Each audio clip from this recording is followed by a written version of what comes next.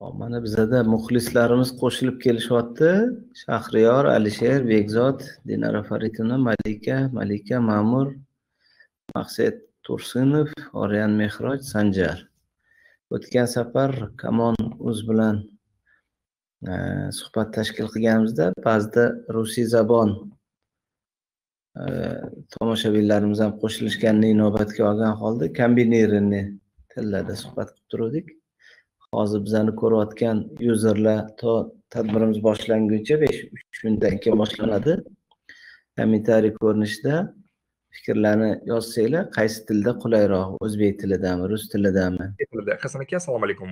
Eshitilyaptimi ovozim да eshitilyapti eshitilyapti sizni boya ko'ryotgandim kamerada lekin hozir kameringiz o'chiq holatda bizani vebinarlarimiz vebinarlarimiz hammasi o'zbek tilida bo'ladi. Shuning uchun agar rus tilida savollar bo'lsa agar man o'ylaymanki rus tilida javob bersak bo'ladi lekin основной prezentatsiya ma'lumotlar berish o'zbek tilida bo'ladi.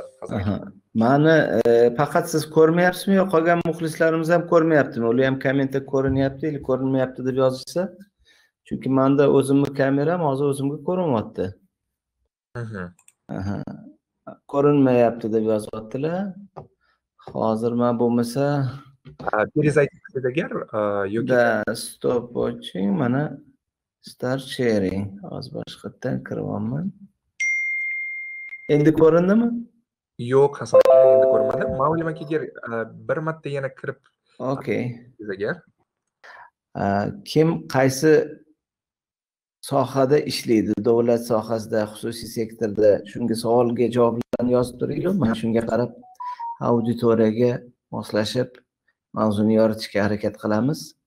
Xususiy sektor e, mana davlat sohasida ishlaydiganlar davlat sohasi xususiy sektor bo'lsa xususiy sektor deb yozib javoblarni aytsanglar ovozim ham eshitilmayapti deyishyapti. Mani ovozim eshitilayotgan bo'lsa plyus qo'yinglar mani ovozim eshitilmayotgan bo'lsa minus qilinglar. Ovoz bor. Ovoz bor negadir faqat efirdamanman farruh aka siz kamerangizni yoqishga harakat qildingizmi? Sizda ham o'xshamayaptimi kamerani yoqishga. Kamera yoqilgan adashmasam unda kamon o'zini o'zida qanaqadir texнический неполадкаlar bo'lyapti. Shuning uchun хорошо. Bo'lmasa suhbatni boshlab turaveramiz. Agar video ko'rinmasada ovoz bilan ma'qulmi E, aziz muxlislar bo'lmasa ma'qul bo'lsa ha yoki yo'q ma'qul emas desanglar yo'q desanglar shunga qarab eshitaveramiz manimcha ma'qul bo'lsa ha deb yozishyapti. Suhbatni boshlayveramiz bo'lmasa hozir safimizga yana husan aka ham ishlaguncha endi suhbatni boshlab turaveramiz. Chunki e, asosiy maqsad shu mavzuni yoritish asosiy maqsad mana ko'pchilikni oldida savol turibdi noaniqlik turibdi. Man husan akamiz safimizga qo'shilgunlaricha albatta yana bir marta savdo sanoat palatasiga e, tadbirkorlikni qo'llab quvvatlash bo'yicha yosh tadbirkor loyihasiga oryan aka mehroj dinara faritovna o'zbekiston yoshlar ittifoqi va barcha mana kamonuz va boshqa shu loyihani qo'llab quvvatlagan tashkilotchilarga minnatdorchilik bildiraman aziz muxlislar. Va shu bilan bir qatorda ramazon oyida hammanglarga hamma yaxshi tilaklarni bildirib qolamiz. Alloh yurtimizni o'z panohida asrasin. Xudo xohlasa yorug' yuz bilan bu karantinlar orqada qolib pandemiyalardan sog' salomat chiqib olib yana oldingi sokin xotirjam hayotga qaytish hammamizga sog' salomatlikda nasib qilsin. Mavzu shundan iboratki pandemiyadan so'ng biznesni tiklash juda aktual mavzu. Buni deyarli o'labay assalomu alaykum assalomu alaykum da farruh aka. Farqmanmi yaxshimisiz charchamayapsizmi endi ozgina texnik nosozlik uchun uzr so'raymiz yo'q bexijolat bexijolat nima qilish kerak davom ettiravering farruh aka yo? Yo'q farruh aka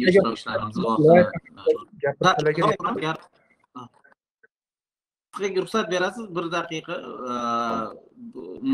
ishtirokchilarimizni quturib qo'ymaslik uchun haqiqatdan ham e, vebinarimizni boshlab davom ettirganimiz yaxshi.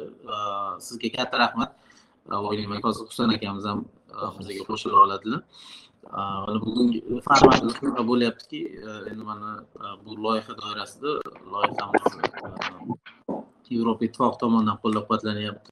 U qozog'iston o'zbekistonda amalga oshirilayotgan bo'lsa bugun navbatdagi vebinar va bugungi vebinarimizda bizani bugungi kunda o'zi o'zbekistonda biznes ta'lim sohasida o'zbek tilida juda kontent masalasi juda muammoli murakkab masala edi. Ana shu masalalarni yechishga bugun juda katta hissa qo'shayotgan platforma va bu platforma egalari shu hasan aka husan aka mana saidovlar faktor orqali va bir qancha boshqa muvaffaqiyatli loyihalar asoschilari va sohiblari shuning uchun biz o'ylaymizki bugungi kunda biznesni aynan pandemiyadan so'ng biznesni tiklash masalasida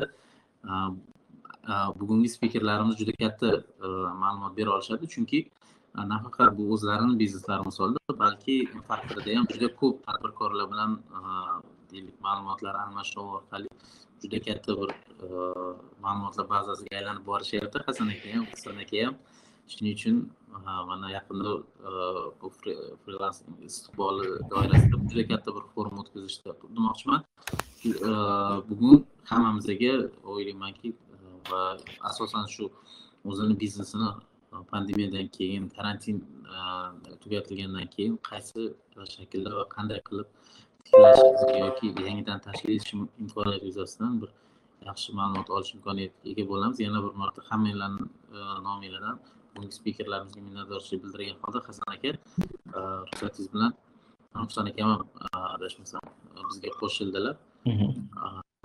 Sekin vebinarimizni boshlasak vebinarimizda bizni formati shunaqa bo'lyaptiki avval spikerlarimiz o'zlarini taqdimotlari bo'yicha ma'lumot berganlaridan so'ng keyin ishtirokchilarimizdan savol so'rayapmiz va bevosita amaliy qismiga savol javob ko'rinishida o'tyapmiz. Shuning uchun agar shu format ma'qul desanglar shu formatda agar yo'q agar bizga boshqa format desanglar biza sizlarni izminglarda bo'lamiz manga sizni husan akani kadrlarni ko'rdim manimcha ko'pchilikni ko'rmayapti yes video deb yozishyapti demak demak исправность уже все работает hammasi yaxshi texnik yechim yaxshi hammanglarga rahmat. Farruh aka sizga kattakon rahmat.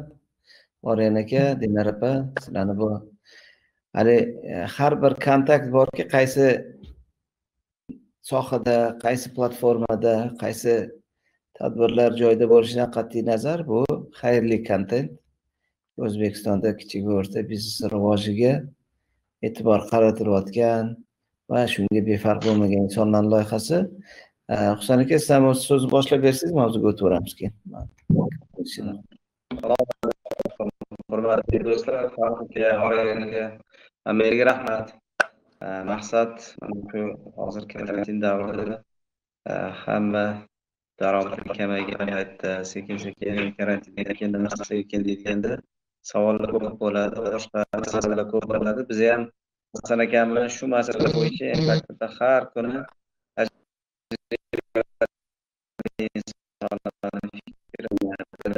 o'zimiz olishga harakat qilamiz. Uchun qo'limdan kelgancha manimcha ko'proq o'zi savol javob formati bizga hasan akam bilan komfortli bo'lardi. Sababi muxlislarga kerakli bo'lgan mavzularda fikrlarni yoritsak ma'qul sababi endi mavzu ko'p yo'nalish ko'p qanday temani bersangiz ham olib ketaveramiz chunki har xil insondan eshitgan o'zimiz hattoki kecha mana deks korxonasida rahbarlar bilan uchrashdimda aytdim og'aynilar qanaqa rejalar mayli birinchi haligi hayplar o'tdi birinchi shov shuvlar o'tdi birinchi karantinlar o'tdi. Hammamiz uyimizda salkam qirq kundan ziyod ishga chiqmadik. Suvda qanaqa degan savolni hamma o'zini korxonalariga beradi va prognoz qanaqa degan savolga javob topishga harakat qilamiz. Kecha nodir aka nurmatov bilan ham suhbat qilganda yana bir o'zim uchun insayt olganim. M faktor ko'rsatuvini ko'rmaganlar bo'lsa albatta nodir aka bilan ko'ringlar. Biza hali yuz foizli объемdan endi bitta pog'onaga tushdik. Hali dunyoga yetib bormadik deganlari o'zim uchun yana bitta yangi kasb yangi insayt va bugun must biza albatta aytish kerak bo'lgan ma'lumotlardan biri bo'ldi. Pulimiz cheklangan bo'lsa cho'nchagimizda yuz so'm bo'lsa va bu bir yuz so'm pulimiz условно bir oyga yetadigan bo'lsa faraz qiling okeanda siz aniq emas necha kundan keyin okean tugaydi man edmida har kun mana shu okeanda cho'kib qolgan yo qolib ketgan qirq kun bir oy ikki oylab everestda qolib ketgan e, необитаемый островlarda qolib ketgan kratkometrajli bir roliklarni ko'rganda haqiqatdan hozirgi holatdagi tadbirkorlarimizga o'xshatdimki aniqlik yo'q. Bugun lotkadasiz bugun bir haftalik ovqatingiz bor. Lekin aniq emas uch kundan keyin okeanni oxiriga yetib borasizmi? Uch oydan keyin yetib borasizmi? O'ylab ishlating. Undan ko'ra uch kundan keyin yetib boring. Uch kunlik zapas ovqatingiz qolsin. Chem olti kunlik ovqatni uch kunda yeb ya'ni o'n olti kun noaniqlik holati turgan bo'lsa degan fikrlardan o'zim hattoki dokumentalniy filmlardan yoki edmini youtube kanalida e, uzoq dovur okeanda qolib ketgan inson выживание uchun nima qilish kerak degan люди выжившие в океане люди выжившие там на необитаемом острове yoki avariyalardan boshqalardan qolgan degan ko'rsatuvlarni ko'rdim. Haqiqatdan ham eng katta muhim noaniqlik paytida safe mode. Boshqa hech qanaqa reja yo'q. Pulimizni sharoitimizni mablag'imizni save mod qilishimiz kerak. Bir kosa ovqatga qornimiz to'ysada besh kosa bo'lsa ham imkon bo'lsa bir piyola yo bir qoshiq bilan noaniqlik to aniqlik tunnelni oxiri ko'ringuncha save modga o'tishimiz kerak degan ustanovkani hammamiz o'zimiz uchun olib olishimiz kerak. Farqi yo'q. Korxonani rahbarimisiz korxonani egasimisiz bizaga o'xshab mana biza korxonani egasimiz. Korxonani rahbari va top menejerlar bilan kecha o'tirganimda mana dex misolda man aytdim manga farqi yo'q dedim. Shu yerda pul ozroq bor. Bu bir oydan keyin tugasa ikkinchi oy sizlarni kesaman. Sizlar ishsiz qolasizlar. Aniq emas. Chunki siz oldingi prognozlarni qilib turgan bir paytingizda u prognozlar bo'lib qolsa dos bo'lmay qolsa nima qilamiz degan savol bugungi kunda aktual degan E, fikrlarni tavsiyalarni va shuncha insonlar bilan suhbat qilgandan keyin e, fikrlarni bildirgan bo'ldik. O'shaning uchun hattoki rossiyadagi o'zimiz sohani egalari bilan suhbat qilganimizda har yil ambitsiyamiz yigirma foizdan ellik foizgacha rost edi. Ikki ming o'n to'qqizinchi yil объемga nisbatan yuz so'm объем bilan tugatganimizda bir yuz yigirmadan bir yuz ellik foizgacha o'samiz degan rejalar bilan kiruvdik. Byudjetlarimiz planlarimiz boshqalarimiz xodim fond оплаты turida strategiya marketing xarajati. Lekin bu yil ikki ming o'n to'qqizga nisbatan o'ttiz foizdan ellik foizgacha объем bilan yakunlashimiz mumkin degan ustanovkani qo'ydik. Ellikdan oshsa bu biza uchun bayram bo'ladi. O'zimiz o'zimizni tabriklasak bo'ladi. Bu vau effekt bo'ladi degan ustanovkani qildik va shundan kelib chiqqan holda xuddi bir yuz yigirma bir yuz ellik foiz bo'lsa qanaqa marketingga pullarni reja qilishim kerak degandek o'ttiz foizdan ellik foizgacha объемdan kelib chiqqan holda samaradorlik effektivnost katta save modga o'tishimiz kerak degan savollarni top menejerlar bilan komanda bilan hamma bilan gaplashib plan a plan b plan c larni ishlab chiqdik deyishganiga aytdimki hattoki rossiyadagi kompaniyalar tajribasi bor. Rынок katta kompaniyalar bu fikrni aytgan ekan. Demak bundan hamma xulosa qilish kerak. Bugun rahbaridan xafa bo'lib bugun biznes egasidan xafa bo'lgan xodim ertaga kompaniyasi to'xtab qolsa ko'chada hammada сокращение bo'lgan paytda aniq mani kimdir ishga oladimikin? degan xavf bor. Hech kim xohlamaydi jamoasidan ayrilishni hech kim xohlamaydi объемi tushib ketishi. Lekin boyagi kultura потребления deydi yoki resurslar kamaygan paytda save mode birinchi plan a bu save mode. Tunnelni oxiri bor lekin qachon u oxiri? Boyagi bir haftalik resursim bor bir haftada chiqamizmi uch kunda chiqamizmi bir oyda chiqamizmi degan. O'shaning uchun mana biza e, o'sha xodimlarga aytdikki uchta to'rtta endi oldingi krizislarda o'tgandagi yechimlarni kecha x misolda aytdim bugun pulim bor bugunga yo bir oydan keyingi yetadi ikki oy uch oydan keyin bilganimda oylikka o'xshab o'ylab ishlatardim. Maydagi byudjetimni iyundagi byudjetim degan fikrga kelmanglar chunki mayda qornim to'yib ovqatlanadigan eski jirlarim berib sentyabrda hali oylik bo'lganda o'ynab ishlatamiz keyin oylik qolmaganda o'ylab ishlatamiz o'ylab ishlatadigan paytga yetib borganda pul qolmasa juda anaqa hozir isrof qilgan bo'lib qolmaylik degan fikrlarni aytdik. Biz aytdik to'g'ri biza xodimlarni mana aprel oyida ish bo'lmagan bo'lsada hamma har xil strategiyalarni qildi mana bizani bu kafe klubda. Do'stlarimiz ko'p takliflarni ko'p fikrlarni bildirishgandi. Biz aytdikki sotsialniy ответственность nuqtai nazaridan hammada naqdlab fiksed bir million so'mdan finansiy yordam beramiz ishga chiqmasada. Bu bizani model. To'g'rimi noto'g'rimi? Ishlamasakda sakkiz yuz ming odam olgan odamga ham sakkiz million olgan odamga ham там yigirma million olgan odamga ham bir million so'mdan чисто naqdlab на выживание issig'iga sovug'iga degan strategiyani qildik. Shunda adolat pallasi ushlanib qoladi degan fikr o'yladik. Endi katta расход ko'rganga odam sevingslar bo'lsa o'sha расходini qiladi yoki davlat kreditlarni boshqa boshqa tizimlarni u davlat nuqtai nazaridan yechimini beradi. Lekin ko'p modellar bor ediki o'ttiz foizga kamaytiramiz ellik foizga kamaytiramiz yoki yuzta xodimdan elliktasini yo'q qilamiz deganda biz aytdikki karantinga shu jamoa bilan kirdik.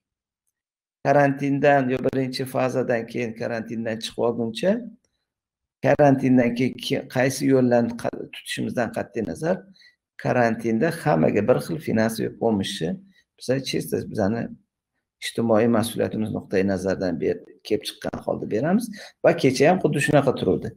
Endi agar aytaylik sentyabrgacha yoki yanvargacha mana shunaqa past ketib qolaversa hali dunyo aniq emasda okeanga tushdingiz. Oyog'ingiz yerga tegadimi yo ketaverasizmi? Faqat pastga tortadi. Keyin chiqib ketishga resursingiz qoladimi yo'qmi degan fikrlarni ochiq bu narsani tan olib ochiq bu narsalarni tahlil qilib ochiq bu narsalarni analiz qilganda aytdikki mayli haqiqatdan ham o'n foiz yigirma foiz o'ttiz foiz kimnidir отпуск содержания kimnidir haqiqatdan ham hali kelajakda объем moshimizga moslab yenga olib bir oy ikki oy yo yarim yil boqamiz tayyorlaymiz sezonga o'rgatamiz deb olingan xodimlarni hozircha endi may oyida agar yaxshi bo'lib ketsa birinchi bo'lib sizlarni ishga olish sharti bilan manga e, yangi olingan va sezon uchun tayyorlangan xodimlarni ro'yxatini beringlar va ularga e, bir yotiq bilan bir e, ijtimoiy mas'uliyatidan kelib chiqqan holda bir hafta yarim hafta yoki ikki hafta buferni поддержка qilgan holda may oyida sizlar bilan manimcha hozircha o'ttiz besh содержание на неопределенное время при birinchilardan bo'lib sizlarni qaytarib olish sharti bilan degan e, ro'yxatni aniqladik. Albatta bizaga qiyin lekin biznesni saqlab qololmasak qolganlarga ham bir qanaqadir ertaga qiynalishimizga olib keladi. Ikkinchi masala ko'p korxonalar oyliklarni kamaytirdi boshqa nimalarni kamaytirdi. Biz aytdikki agar bir oyda adashmasam ikki yuz ellik soatmi plyus minus necha soat ishga условно agar bir million va yuz soat ishlayotgan bo'lsa oyligini kamaytirmaylikda kelinglar ish soatini kamaytiringlar. Mana yuz soatga yuz so'm pul olgan bo'lsangiz sakson soatga hozir may oyida ishni tushiramiz qanaqa? Shanba kuni ishlamayapmiz desangiz shanba kuni keladigan mijozlar juma kuni kelib turadi karantindan chiqqunimizcha yoki deylik krizisdan chiqqunimizcha yo sezonga kirgunimizcha соответственно bu odam biladiki mani oyligim yuz so'm edi yuz so'mga yuz soat ishlagan bo'lsam yuz so'm oyligim saqlanib qoldi. Hozircha save modda sakson soat yo yetmish soat ishlaymiz. U birinchisi. Ikkinchisi o'ngacha ko'chada yurish mumkin va beshdan keyin uyga ketish mumkin ishxonada. Biz aytdik kelinglar dedik soat o'ndan beshgacha ishni e'lon qilamiz dedik. O'ngacha ishxonaga yetib kelsa bo'ldi va beshdan keyin ketsa bo'ldi. Ertalab hamma o'zini ishxonasiga borib to'qqizda keladigan klient o'nda kelaversin beshdan keyin oltidan keyin yettidan keyin o'rganib qolgan haligi bitta yarimta klient uchun butun jamoani ushlab mayliuda okey imkon bo'lsa beshgacha kelinglar beshgacha ishlayapmiz desangiz haqiqatdan kunduzi kela oladigan sektordagi korxonalar stikeri borlar boshqalar kelyapti. Yana shu bilan bir qatorda o'tgan yilgi объемga nisbatan hozir endi endi kel ko'p tadbirkorlar bilan suhbat qilganimizda bu paytdagi savdoni hali karantin bo'lgani uchun odamlar ko'chada yurmagani uchun bugunni may oyi holati oldingi yuz so'm bo'lsa hozir o'n besh so'm yigirma so'm o'ttiz so'm bo'lyapti объемimiz соответственно o'ttiz foiz standart holatdagiga nisbatan savdo bo'lgandan keyin o'ttiz foiz bo'lmasa ellik foizga yaqin объем работani e, kamaytirsak bo'larkan. Xodimlarimizni ish soatimizni va aytaylik samaradorligimizni degan ma'noda ne sezonda? Shunda biza xodimlarni e, ishlamay bir million bergandan ko'ra ishlab ikki million olsin uch million olib turgan odam. Ishlab sakkiz million olsin o'n million olgan odam. Lekin e, bu nimaga e'tibor qaratamiz? Uchinchisi mana alisher isayev bilan suhbatlashganimda eng ta'sirlangan joyim shu bo'ldiki endi bu kafeda va boshqa boshqada agar fiksированный оплатада bo'lsa asosiy объем зарплатанgiz bu sizga нагрузка ko'proq bo'ladi. Agar fond оплаты трудani yuz so'm topayotgan xodimni o'ttiz foizi fiksa yetmish foizi kpi bo'lgan bo'lsa yoki ellik foizi fiksa ellik foizi kpi bo'lgan bo'lsa yoki yetmish foizi fiksa o'ttiz foizi kpi bo'lgan bo'lsa kpi balandroq bo'lgan xodimlar daromadi ko'p bo'lgan xodimlar ularni motivatsiyasi ko'proq bo'ladi sizdan ham ko'ra. Nima qilsam ko'proq klientlarimga muomala qilay biznes egasi nuqtai nazaridan husan akam iboralar bilan aytganda тебе хорошо мне хорошо KPI tizimini tashkil qilgan biznes egalari ko'proq yaxshi e, muvaffaqiyat bilan chiqish shansi ko'p. Qarang bizani har bir kunimiz qaror qabul qilishdan iborat. Bu to'g'ri qarormi noto'g'ri qarormi qayerdan bilasiz. Mana restoranga kirib menyuni ko'rasizda menyuni ichidan manga masalan deylik mana mana bu ovqat yo'q yo bu ovqat yo'q o'shaning uchun menyuda nima bor? Kim qanaqa yechimlarni qilyapti? Kim xohlaydi? Haligi avvaling xor bo'lsa bo'lsin oxiring xor bo'lmasin. Bugun qiynalsam ham ertaga krizis tugagandan keyin yutib chiqib va rынокda yaxshiroq kuchliroq pozitsiyaga ega bo'lish. O'sha kelajakdagi muvaffaqiyat uchun bugun agar biz rahbarlar top menejerlarimizga to'g'ri yotiq bilan tushuntira olsak biza bu krizisdan то что нас не убивает делает нас сильнее degandek mustahkamroq bo'lib chiqamiz. Yuzta korxonadan o'ttiztasi tirik qoladimi elliktasi tirik qoladimi aniq o'n foizdan ellik foizgacha bizneslar yopilib ketadi yilni oxirigacha. Chunki kislorod bo'lmasa nima qilasiz? Uzr yigitchilik deysiz eng yaxshi ko'rgan xodimlaringizni ham ushlab qololmaysiz mani o'zimda ikki ming sakkiz ikki ming o'n ikki ming o'n uch nechinchi yilda eng zo'r xodimlarimga ham aytganman ukajonim yigitchilik man eplolmayapman.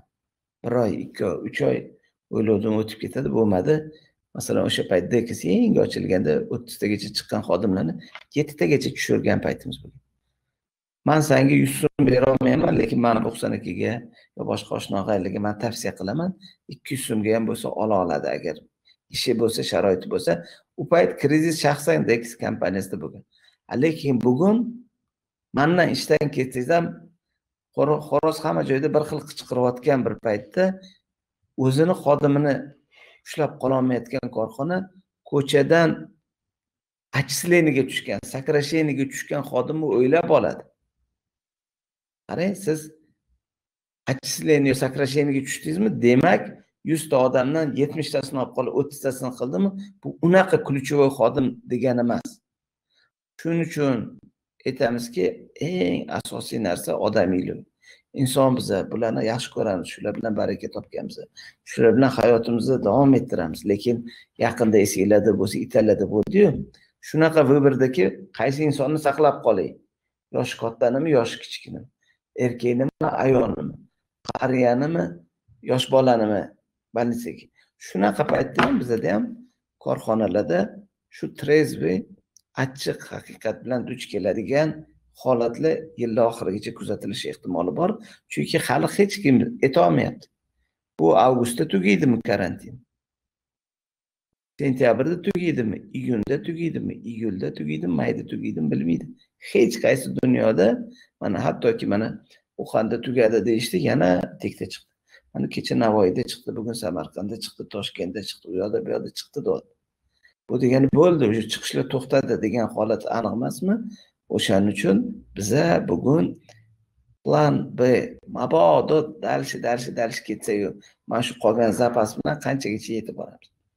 Krizisdan zapas bilan chiqqan yaxshi chem krizisi o'n kun qolganda zapaslarni tugatib biznesni yopib keyin o'n kundan keyin sizni yopganingiz hisobiga sizni klientlaringiz boshqa odamga borgandan ko'ra. O'shaning uchun mani o'zimni fikrim pandemiyadan so'ng biznesni tiklash uchun pandemiya paytida to'g'ri qabul qilingan qarorlar tiklashimizni osonroq bo'lishiga sabab bo'ladi buni jazosi kommunikatsiya. Buni jazosi xodimlardan qochishimiz kerak emas. Top menejerlardan qochishimiz kerak emas.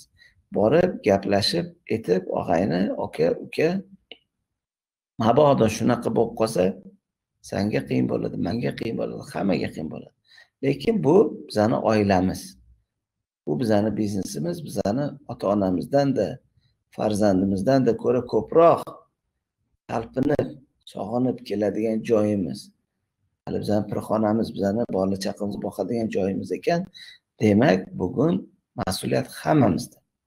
Ситуация не меняется меняется отношение.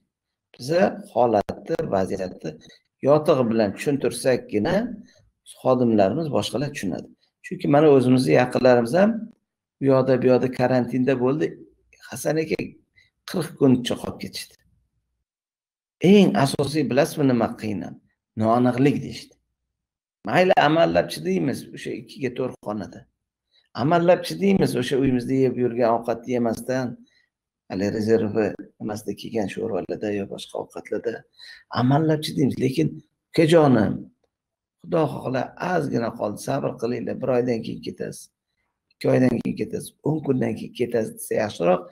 Na a bor na b bor na tushuntirish ishlari bor. Shu tushunmovchilik bo'lgandan keyin niyasiniz bo'lgandan keyin eng yomonimiz. Bu yerda liderskiy xarizma. Liderni vazifasi juda muhim omil bo'ladi.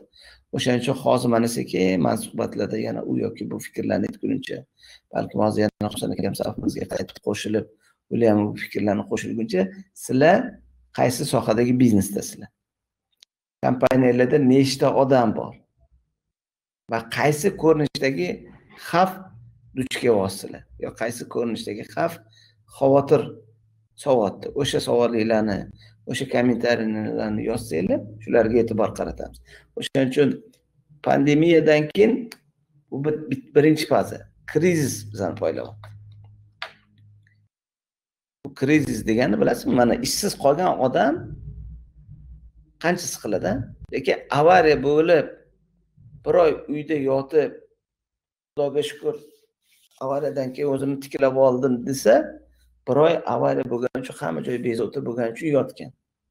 Ishsiz qolgani uchun keyin undan keyin ishsiz qolgani ikkinchi surpriz bo'ldi. O'shaning uchun hozir bizada pandemiya tufayli hali stop igra bo'lib butun dunyoda va butun o'zbekiston bo'yicha yurtimizda stop igra bo'lgandan keyin xohlasangiz ham chiqolmadingiz ishxonaga. Restoran bo'ldikmi kafe bo'ldikmi magazinmi boshqa boshqa soha vakillarimi masalan ishga chiqolmadikmi avtomat ham hali do'st bilan obod uyingda mana hozir infaktorda o'tiribman. Bir paytlar haligi vavilonga o'xshab fayz olgan joyda shu yerda bir oylab ikkita shogirdimiz xizmatda bo'ldi. Hozir o'zim ham sog'inib kelib mana shu yerda bir paytlar shuncha odam bo'lardiya degan ma'noda islom. O'shaning uchun alloh nasib qilsa yana o'sha fayzli kunlarga kelamiz. Yana eventlar tadbirlarga yetib kelamiz. Sog' salomat yorug' yuz bilan kasal bo'lmaslik. Mas'uliyat o'zimizda. O'zimizga ehtiyot qilishimiz. O'sha haligi sotsialniy distansiya sog'liqqa boshqa narsalarga e'tibor berishimiz u birinchi masala. Ikkinchi masala buferimiz bo'lsa o'sha buferni maksimum tortishimiz kerak. Buferi borlarku yaxshi. Buferi yo'qlar nima qilsin degan savol ham ko'pchilikda o'rinli savol tug'iladi. O'shaning uchun hozir e, bizani tomosha qilayotgan mana qirqdan ziyod muxlislarimiz sizlar kommentariy ko'rinishda yozinglar. Husan aka ham hozir aloqaga kiryaptilar. Husan aka ham bir ikkita so'zlarni qo'shimcha qilganlaridan keyin man ham savollarga javob berishga harakat qilamiz. Siz biznesni egasimisiz yoki u yoki bu biznesni jamoasi yoki xodimimisiz shu ko'rinishdagi kommentariylarni yozib tursanglar husan aka so'zingizni boshlashdan oldin bir ikkita test bu bir narsa gapiring.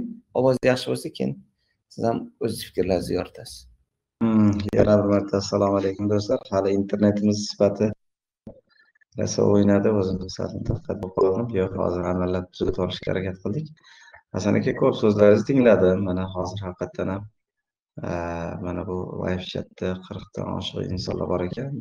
Bu yaxshi maqol bor. Rus tilida меньше народа больше кислорода savolinglarni bera olishga bu yaxshi imkoniyat. Chunki manga hasan akamga hatto nechkalaga ham shaxsan savollar berasizlar. Ba'zida istasak ham oila boshqa masalalar bilan bo'lib javob bera olmaymiz.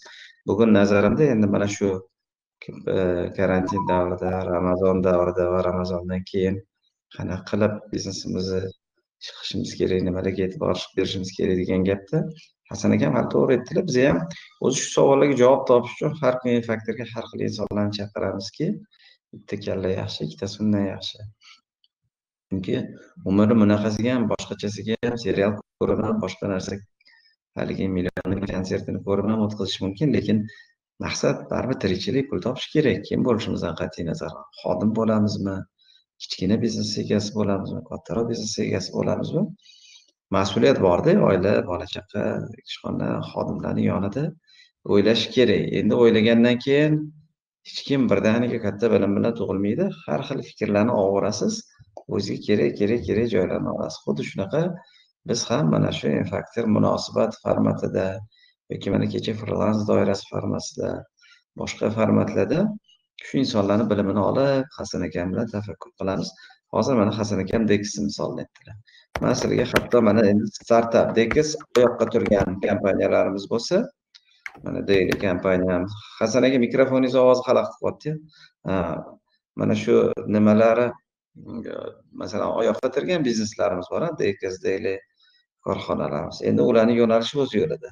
Ko'p bizneslar kichkina biznesda masalan u xuddi taksi qiladigan insonga o'xshaydi. Bugun chiqib ko'chada tirikchilik qilib kelsam pulim bor tirikchilik qilib kelmasam bola chaqamni boqishga pulim yo'q. Xuddi shunaqa ko'p bizneslarda shunaqa zapas прочности deydigan narsa bo'lmaydi. Hech kim unaqa katta krizislarni boshidan o'tkazmagan. Bizada mana kecha nodir aka bilan bo'lgan suhbatda zo'r bir o'zimga insayt oldim. Bizda oldin krizis bo'lsa ham butun dunyodagi krizis bizaga unaqa ta'sir qilmagan. Sababi biz o'zi shundoq ham yopiq davlat edik shundoq ham o'ttiz yildan beri krizisda edik lekin hozir sal ochilgandan keyin krizisni eng bunaqa bo'lmagan holati bu karantin davrida. Hayotda hech kimni davlat yoki umuman butun dunyoda uyiga kirib qo'yib eshigini yopib ishxonani yopib ketgan holat hatto bizada bo'lmagan. Boshqa payt krizis tushgan bo'lsa ham ishga chiqqanmiz savdo bo'lib turgan nimadir bo'lib turganda katta bizneslarda ham kichik bizneslarda ham o'shaning uchun mana mana butun muxlislar yozishyapti o'quv markazi kiyim kechak boshqa mana bemalol fikringlarni yozib bo'lmasam siz qaysi sohadasiz va nima muammolarga duch kelayotganingiz. Biz sizlarga moslangan man hozir besh yarimgacha mana xudo xohlasa harakat qilamiz.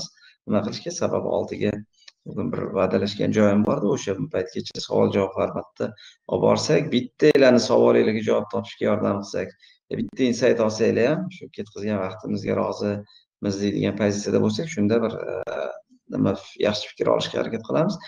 Masalan o'sha daily dex aytdik yoki infaktor infaktor o'zi ijtimoiy loyiha.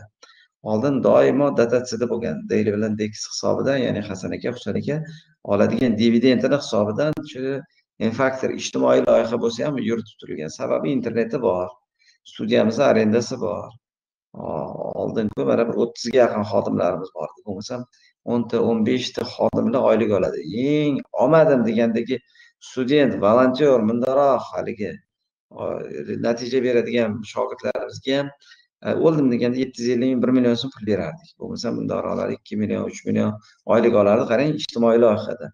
Man shaxsan finansga javobgar er bo'lganim uchun oylik byudjeti mana shu kichkina infaktor loyihasini komandasini oylik byudjeti ham bir o'ttiz qirq milliongacha borgan edi. Bu hasan aka husan akani oyligisiz dividendisiz. Masalan dividend oylik oladigan darajaga yetgani yo'q edi bu proyekt. Lekin hatto shu karantin davrida maksimalni qisdik.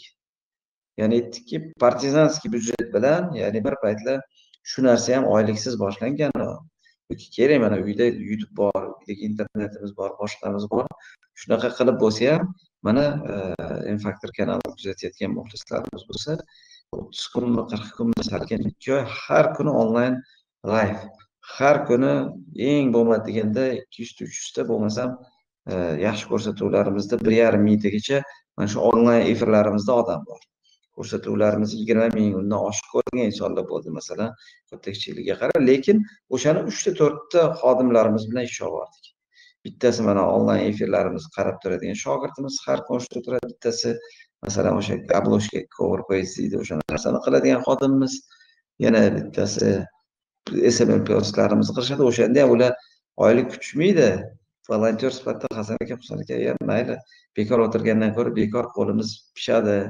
Bir nimamiz bo'ladi deydi. Endi haligi gapda ular bekor degani bilan ham baribir bir million so'm pul bersangiz ham duo qilib e rahmat deb xursand bo'ladi. O'shaning uchun mana bu ham bitta format.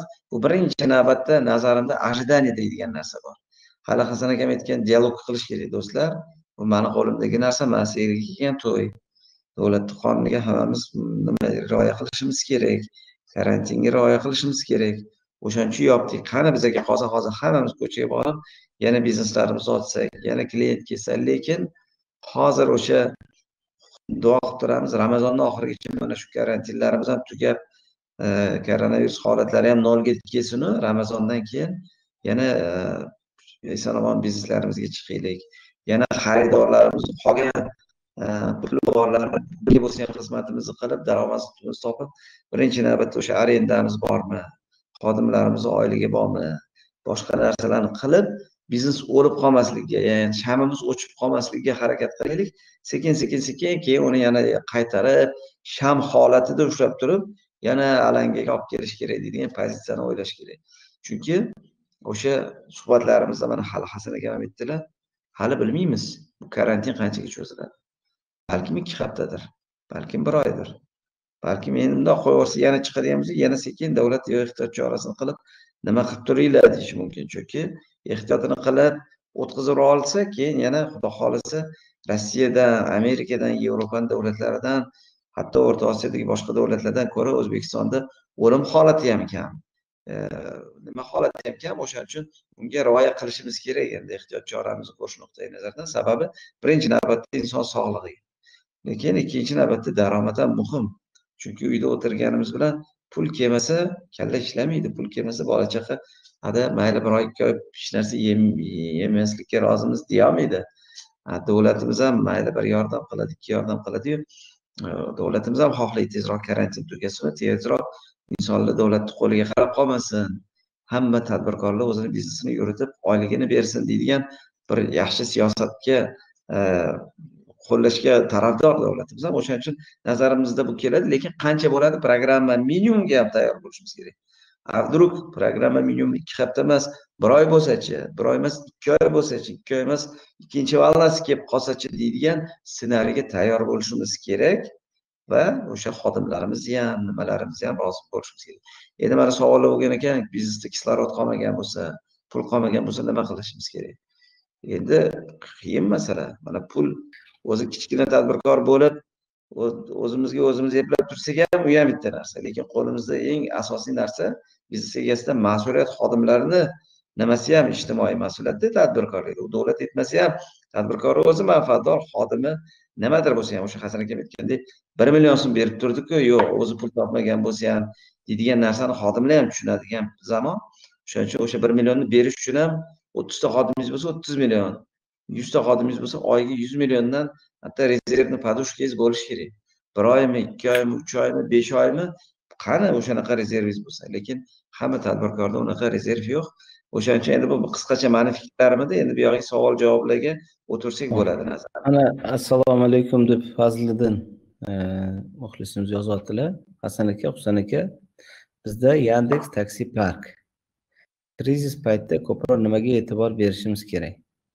Ko'p haydovchilar ishga chiqmayotganiga ishchilarga oylik berish qiyin bo'lyapti. Endi savolni hammasini bilmagan holda to'g'ri yo noto'g'ri javob berish ehtimoli bor. Полный kartinani bilmaganingizdan keyin doktor mana bu yog'im sanchilyapti desa bunda haligi nosh ichibor yo bosh og'riq dori degandek holat bo'lib qolish imkoni bor lekin doktorga borib operatsiya bo'lganmisiz boshqami umi bumi desa bir aniqroq javob bergandek bu ham shunga o'xshagan holat. Aniq bir narsani ayta oladiganim shuki taksopark deganda mani xayolimda nima восприятие keldi? Taksopark taksi e, taksistlarni o'zinikimi yo sizni taksingiznikimi birinchisi. Sizni taksilaringiz bor taksistlar ishga chiqadi ketadi.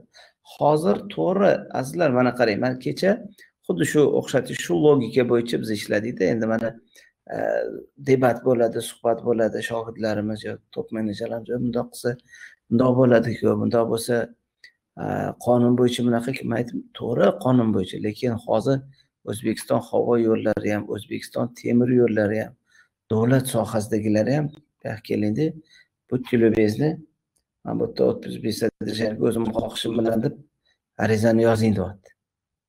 Ja sizni sudga bersa ham davlat o'zi ko'rib turibdiki hozir nari borsa mana senga bir oylik oyliging man uzr sani eplolmas ekanman ishlatolmas ekanman ikki haftani ichida. Parashyutini berish выгодныйroq mana besh oy sizga hozir tushunmasdan naprigat qiladigan insondan ko'ra. Bugun o'sha taksoparkdagi xodimlarga ish kam bo'lsa boyagi man aytganimdek og'ayni ukajon ukajonim yigitchilik qo'limdan kelsa odamiylik mani shaxsan sharoitim bo'lsa hammanglarni ish bilan ta'minlasam sizlarga ish yaxshi bo'lsa manda ish yaxshi bo'ladi man pul topaman. Sizlarga oylik beraman arendamni to'layman kreditimni to'layman davlatga solig'imni to'layman boshqa qilaman desangiz ha to'g'ri aytyapti deydi. Faqat u bilan talashayotganingizni ko'rsangiz haligi del karnega aytgandek sportda hech kim yutmaydi. O'shaning uchun bundoq ikkalamizni pozitsiyamiz bitta. Nima qilsak bo'ladi desangiz balki kimnidir o'zi tavsiyani beradi. Manimcha bu yoqda чувство situatsiya не меняется меняется отношение degandek dialogda to'g'ri qurishimiz kerak. Hozir o'ttiz besh yoki по факту KPI ishdan kelib chiqqan holda karantinda KPI formatida yo kilometrdan yo сделкадан yo kumbaydan va boshqadan ishga o'tib turamiz. Сдельныйga o'tamiz degan yechimlarni ustida javob qidirishingiz kerak. Endi ikkinchi masala ba'zida ilhomni o'ziga insayt kelmaydi ba'zida insonni o'ziga hayoliga qanaqadir yechimlar kelmaydi o'shaning o'sha o'zingiz ishonadigan top menejerlar bormi yo xodimlar bormi yo do'stlaringiz bormi? Yaqin shu sohadagi taksoparkdagi insonlar bormi? Sizlar qanaqa yechim qildinglar? Qanaqa variantlar bor? Chunki bularga to'g'ri kelgan narsa sizga to'g'ri kelmasligi mumkin. Shuning uchun bularni hammasini olib keyin bu yog'iga haligi tavakkal qilishdan oldin oldin biz o'zimiz sababini qilib qo'yamizda keyin bu yog'iga olloh o'zing mana shu yo'lni tanladim barakani ber shu to'g'ri yo'l ko'rsatgan bo'lgin deb uni qilishimiz kerak. O'shaning uchun ish bo'lsa bo'lmasa hozir fiksirni оплатада bo'lsangiz sal qiynalasiz. O'shaning uchun agar yo'q man ketaman desa mayli ukajonim olloh nasib qilgan chunki man kecha xodimlarimiz bilan gaplashganda hasan aka bularni keyin topish qiyin bo'ladi o'rgatish qiyin bo'ladi konkurentga o'tadi deganda man o'zim hunting qilib u yoqdan bu yoqdan xodim topolmay yurgandim. Krizisda hozir o'zim majbur bo'lyapman modga o'tish. Qaysi konkurentda ish zo'r ekan degan fikr. Mundoq bersangiz javob chiqadi. Ikkinchisi olloh nasib qilgani bo'ladi. Bir paytlar bizani sezonimiz dekustni misolda sentyabrdan dekabr oxirigacha. Shu sentyabrdan dekabr oxirigacha savdo uchun olti oylab to'qqiz oylab xodimlarni dotatsiya qilgan paytlarimiz bo'lgan va ey bu xudo xohlasa sentyabrda yoki dekabrda ish beradi. Shuncha minusimni o'sha yerda kompensirat qilamiz. O'ta sezonalniy biznesda deganimizda noyabrda o'sha biza boqqan xodimlar uzr manga ruxsat deb ketgan. Majbur bo'lganimizda dekabr o'zida olib mobilizованный rejimda xodimlarni tayyorlaymiz. Umr davom etaveradi biz aytdikki kerak bo'lsa yetti oylab boqqan xodimlarimiz noyabrda ketgan paytlarni ko'rdikku o'lmadik. Hayot davom etdi. Krizis bo'lgan paytda biza vafodor biza deganlarimiz joyi kelsa birinchi bo'lib xiyonat qilganlari bo'ldi. O'shaning uchun to'g'ri parvo qilmaymiz beparvo bo'lmaymiz. Bugungi holatdan kelib chiqqan holda og'aynilar biza majbur biza shu biznesni saqlab qolsak yana ertaga shu taksiga birinchi bo'lib o'zingizni chaqiramiz. Sizni ketqizib sizni o'rningizga boshqa odam qo'yamiz lekin man sizni chaqirganda boshqa joydan ish topgan bo'lsangiz man xafa bo'lmayman. Lekin birinchi bo'lib ishchi kerak bo'lganda boshqa ishdan ko'ngli to'lmasa man eplab turaveraman. Korzinkada грузчикlik qilib turaman kanotda kuryerlik qilib turaman boshqa joyda ishlab turaman. Ish bo'lsa birinchi bo'lib chaqirsangiz xursand bo'laman desangiz albatta birinchi bo'lib oldingdan o'taman degan dialog hozir oylik ish bo'lmagani uchun berishi man og'rinaman. Man qiynalaman. Man qiynalsam ertaga mana shu moshinani sotishga to'g'ri keladi. Keyin senga ish berish imkonim qolmaydi desangiz u tushunadi. Chunki to'g'ri endi qiyin qiyin hammaga qiyin. O'shaning uchun mana bitta mani o'zimni fikrim agar ishga chiqmasdan oylik berayotgan bo'lsa отпуск без содержания dialog orqali va тебе хорошо мне хорошо сделали kipay antikrizis yechimlarini qilsak bu to'g'ri bo'ladi. Husan aka juda yaxshi fikrlar bo'ldi. Hurmatli do'stlar savolingiz bo'lsa yozaveringlar xudo xohlasa sizlar bilan taxminan yana yarim soat savol javob formatlarida davom ettiramiz. Mana mana bu yerda odilbek aytgan ekanlar mijozlarda ham pul yo'q. Agar mijozlarda pul bo'lsa shunda ish yurishadi. Bu zanjir hozir buzildi. To'g'ri aytasiz chunki hammada pul bo'lsa mana masalan siz pul ishlasangiz oylik olsangiz hamma nimagadir ishlatadi kimdir borib sartaroshga boradi kimdir boshqa bozor o'char qiladi kimdir farzandini o'qitadi kimdir repetitorga to'laydi. Hamma daromadiga qarab o'zini prioriteti bor. O'shaning uchun e, bu haligi o'sha munosabat ko'rsatuvlarda qilgan suhbatlarimizdan xulosa qilamizki bu nafaqat sog'liqqa oid krizis bu pandemiya. Insonni sog'lig'iga bog'liq va bu orqasida iqtisodiy krizis bor. Chunki sog'liqqa bog'liq bo'lib hamma bizneslar ishsiz ya'ni mijozsiz qoldi. Mijozsiz qolgandan keyin puli kelmagandan keyin ko'pchilik ishsiz qoladi. И bu bir kunda qaytib o'sha o'n oltinchi martgacha holatiga qaytib kelishi ham kutishi o'zi noto'g'ri bo'ladi. Ожиданияni to'g'ri qilishimiz kerak realistik yondashishimiz kerak. Sababi ertaga bo'ldi. Hayitdan keyin krizis e, ya'ni karantin tugadi degani bilan odamlar o'sha odatdagi qo'lida puli qolmadida masalan. Rezervi borlar rezervini ishladi butun mana martdan o'n oltinchi martdan boshlab o'n oltinchi aprelgacha edi mana hozir o'n oltinchi maygacha haliyam yetadigan nimalar bor lekin hali aytdiku har xil tipdagi kategoriyadagi odam bor. Shu bugun pul topib shu bugun ro'zg'orga ishlatgan odamlar bor. Masalanda e, taksist bo'ladimi boshqa soha egalari bo'ladimi? ofitsiant bo'ladi. Hatto kimdir ofitsiantlik qilgan kimdir mardikorlik qilgan kimdir borib borib to'yda dori chalib ham pul topgan masalan insonlarni bilamiz o'sha ikki oydan beri to'y bo'lmasa daromad bo'lmaydida yostiqni tagida ommani e, puli qolmagan. O'shaning uchun bu degani istasak istamasak prioritetlar o'zgaradi. Endi pul yetmagandan keyin sutda tili kuygan qatiqni ham puflab ichadi deydigan maqol bor xalqimizda. O'shaning uchun ehtiyotini qilib pulni ishlatadi shoshma deydi. Ertaga ana u yerda man eshitganman ikkinchi valnasi bo'lib qolsachi? Yana pulim yetmasachi deydigan ehtiyot chorasini qilib ishlatgandan keyin bizneslar ya'ni restoranlar yoki mana tepada yozibdi turizm sohasi qanaqa bo'ladi? Masalan e shoshmay restoranga bormay turing xudo asrasin ertaga karantinga tushib qoladigan bo'lsam man o'sha restoranga ishlatadigan yuz mingimga bir haftalik ro'zg'or qilsam bo'larkan deydi masalanda. Shunga o'xshagan narsalar bo'ladi. Yoki mana Э, shahriyor degan muxlisimiz yozyapti o'quv markazlari qanday qilib krizisdan chiqsa bo'ladi? Man yosh tadbirkorman. Yangi ya'ni language school yurituvchiman dedilar. Mana bitta kecha shu narsani man ukam bilan maslahatlashib o'tiruvdik. Mana hozir bizaniki shaxsan infaktor ham daromadi o'sha o'quv sohasidan ta'lim sohasidan. Hamma bugungacha bo'lgan kontentimiz onlayn bepul beramiz masalan. Lekin infaktor o'sha oyligi arendasi xodimlarni e, motivatsiyasi o'sha frilanserlarga beradigan pullarimiz ham infaktorga kelib praktikum darslarga kelib pul to'laydigan insonlardan beriladi masalan hozir mana ikki oydan beri daromadimiz yo'q. Rezervlarimiz o'shanda xodimlarimiz ishga chiqmasa ham martda oyliklarni to'liq berdik. Aprelda borlik yetdikki endi xudo xohlasa ikki hafta degan davlat ikki haftami bir oymi sabr qilamiz. Aprelda rezervi qolmadi infaktorni dedikda mayli arenda bormi internet to'xtamasligi uchun onlaynlarni olib borish uchun uzoq bilan kim chiqsa kim hissasini qo'shsa yoki onlayn bo'lsa ham hissasini qo'shsa o'zinglarga berib turamiz. Rozi bo'lasizlar deb dialogga qildik. O'sha o'n beshta yigirmata to'rtta xodimlarga masalan aprel oyiga kecha man qizlik ketdim e, pul to'laylik shu bolalarga. Onlayn turib bo'lsa ham volontyorlik formatda rozi bo'lib ishlagan bo'lsa ham man ko'rdim endi o'sha yerda ozmi ko'pmi summa to'landiku. Lekin u daromadimiz yo'q edi. Yaxshi nimadir reklama qilib bo'lsa ham auditoriyamizni ushlab turganimiz uchun kimdir yuz ming kimdir ikki yuz ming kimdir besh yuz ming nimadir to'lab turgan pullardan shu bolalarni oyligini va o'shanga o'xshagan xarajatlarni berdik. Lekin bitta muammo bor. Muammo nimada? Endi bu davlatimiz ham bu narsani bilsa kerak. Sariq qizil yashil rejim deydigan hozir nimalar bor? Mana qarang hozir toshkent sariq rejimda hatto ertaga karantin tugab yashil rejimga o'tsa ham hatto o'quv kurslarini e, nimasi yashil spiskada ham yo'q. Shu muammo bor. Masalan bunga tayyor mana pesle degan analiz bor tashqi faktorda bu sizga manga bog'liq emas.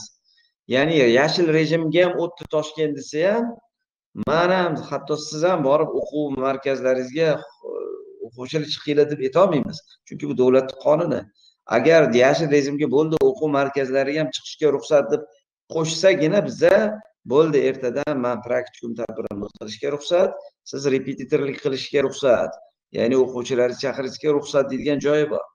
Demak yashil rejimga qachon shu narsalar qo'shilsagina o'quv markazlarini ishi yurishi mumkin. Ana endi bu qachon bo'lishi manga ham sizga ham bog'liq emas. Bu o'sha tashqi holatga tashqi faktorga bog'liq.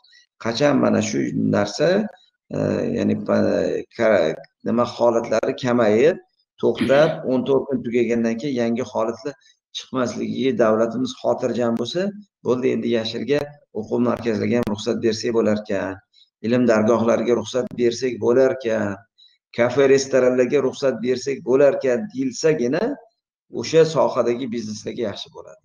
O'shaning uchun hozir shu narsani mana yashil ssenariyga chiqsak yuradimi desam man ko'rmayapman. Hatto infaktor ham daromad ko'rishiga.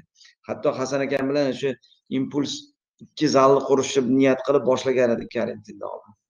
Qancha summalarni tiqdik yana bu yog'iga qancha summa tiqishimiz kerak edi. Man kecha o'sha yaqinlarimiz bilan gaplashdim. Biza mo'ljalimiz bo'yicha oyida infaktor loyihamiz shuncha summa topib tursa shu keladigan summani mart aprel may iyun oylarida remontimizga tikamiz. Remontimizga tiksak mana xudo xohlasa avgust oyidan biza shu yangi joyga o'tishga e, tayyor bo'lamiz degan prognoz bilan sizlar bilan baraka qilgan edik. Avgust oyidan arenda summalarini ham kelishgan edik. Hozir mani xavotirga solayotgan narsa deb man ochiq dialog qildim hasan aka hatto bu narsa xabarlari yo'q. Birinchidan keladigan daromadimiz yo'q. Ikkinchidan iyunga bitirsak hanna bir oy ikki oy льготный periodimiz bo'larkan deb shuni hisobidan oldik ya'ni льготный periodda yangi joyga klient o'rgatamiz. Lekin arendaga kiradigan joyimizga endi o'zimiz bilamiz e, kapitalni shu bir chiroyli holat bo'lishi o'ziga salkam yuz ming dollarlik smetani o'zini mo'ljallagan edilar hasan aka ikki milliard ikki milliardlik smetani mo'ljallagan. Hozir ikki milliard o'ttiz tursin ikki yuz million pulimiz ham qolmadida masalan. O'shaning uchun man o'sha arendaga kelishgan yaqinlarimiz bilan aytdimki mana shu pandemiya holati avgustga ham emas hatto sentyabrga ham borishiga ko'zimiz yetmaydi. Chunki kechagi intervyularda ham qilyapman mayli impuls bir zalida olib boraveramiz. Avgustmi sentyabrmi yangi yilgacha bo'lsa ham olib boraveraman man shoshilgan joyim yo'q. Ya'ni kapital xarajatlardan ehtiyot bo'ling va doimiy xarajatlardan ehtiyot bo'ling. Chunki mana man misolni aytyapman hamma o'zini misolida xulosa qilib olishi kerak. Hech kim sizga kelib muammoyingizni chaynab berishmaydi hatto shu efirdan keyin manga yo hasan akamga hasan aka mani keysim bilan mm, alohida bir konsultatsiya bering desangiz ochig'ini aytaman mani vaqtim chegaralangan man bepul vebinar qilib beraman gapi yo'q. Bepul mana xohlasangiz ertaga shanba kuni onlayn воронка uz kanalimizda mana shunaqa savol javob qilib beraman. Lekin birga bir keysimni o'ziga siz mani bir soat vaqtimga bir million so'm to'lashga rozi bo'lsangiz vaqtim bo'lsa mayli man sizni keysingiz bilan yashayman deyman. Shunaqa bir million so'mdan to'lab e, konsultatsiya olayotgan do'stlarimiz bor. И то o'shalarni umumiy savolga man aytaman man pulingizga qiziqmayapman shuni onlayn vebinarlarga o'tib bera qoling. Bu yoki umumiy bilimini shundoq bepulga ola qoling deydigan tavsiyani beraman. Chunki holatda bunaqa holatlar bor. O'shaning uchun hissadan hissa xulosa nima? Bizlarni o'zimizni xulosa kapital xarajatlardan ehtiyot bo'lishimiz kerak. Doimiy xarajatimiz arendamiz mana bu binomni bahosi to'rt yuz dollar yangi binomni bahosi masalan o'n barobar ko'proq bo'lsa arenda baho. Man uchun signal. Yo shoshma shuncha pulni topamanmi yo'qmi? Chunki arendani gaplashsangiz garantiya e, расходingiz bor. Yaxshi baraka topsin ko'p arendatorlarga tushuntirsangiz yo bo'ldi elga kelgan to'y tushunamiz husan aka. Masalan yarmini bo'lsa ham qoplab tursangiz bizani ham o'zimizni lizing xarajatlarimiz naloglarimiz boshqa amortizatsion xarajatlarimiz bor edi.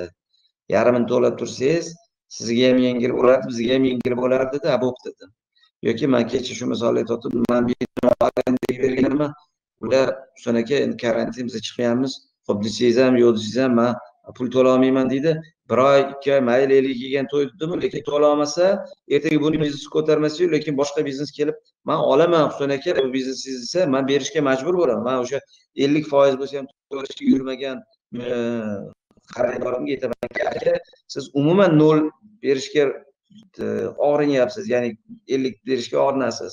Mana bu yerda manga mayli yuz so'm emas ellik so'm beradigan mijoz chiqdi. Yoki yuz so'mga ham rozi. Shularga man berishga majburman deydigan holat bo'ladi. Endi har bir tomon o'zi shu narsalardan xulosasini qilish kerak. Endi aytmoqchi bo'lganligim duo qilib turamiz karantinlar tez tugasin.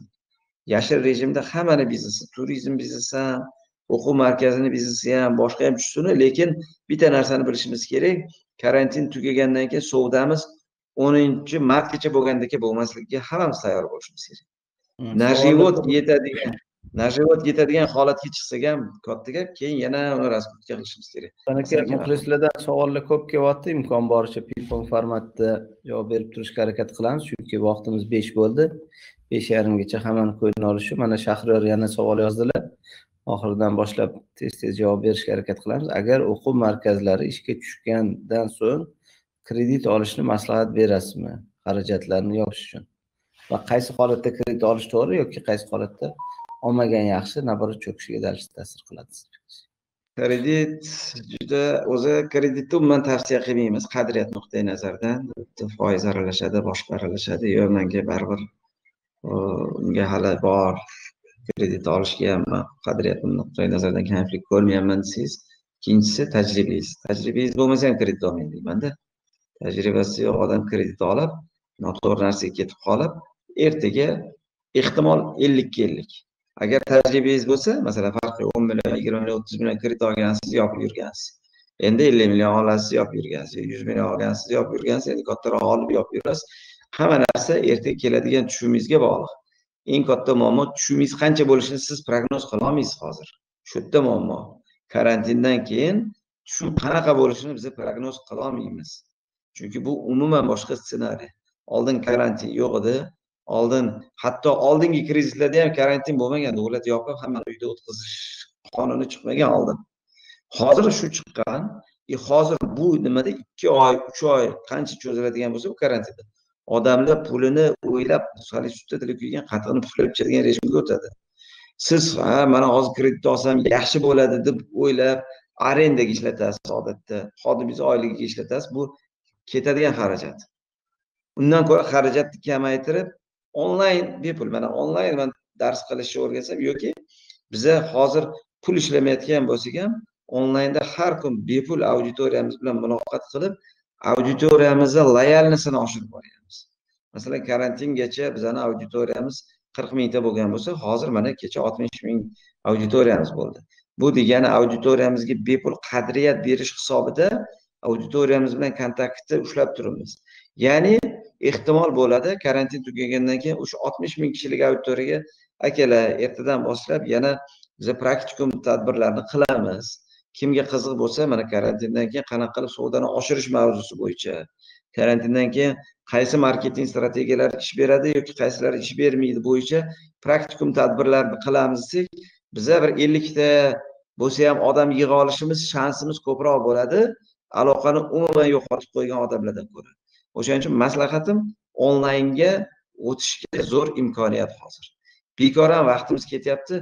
Onlaynni man tushunmayman desangiz biz ham tushunmas edik mana ikki yil deganda har kun nimalarnidir o'rganyapmiz. Mana bitta misolni aytaman. Infaktorga hasan aka birinchi mingta подписчикni qanchada yiqqan edik yilmi? Bir yilmi? Bir yil degani zo'rg'a mingta подписчик yig'dik xudoga shukur mana hozir infaktor kanalimiz borligi uchun voronka uz degan yangi kanal qilganmiz bir haftada mingta odamni yig'dik chunki loyalniy auditoriyamiz bor. Ana endi hozir mana bu yerda voronkada buni qilsangiz infaktordan farqi yo'q nima bo'ladi deganlarga aytamanki voronkada hasan aka husan aka marketing va nima savdo bo'yicha o'zimizni alohida bir yo'nalishimiz bo'ladi. Chunki praktikumda yo'nalish ko'payib ketganda mana munosabat formatini qilganmiz. Mana qur'on tilovatlari ham bo'lyapti har xil mavzularda bo'lyapti.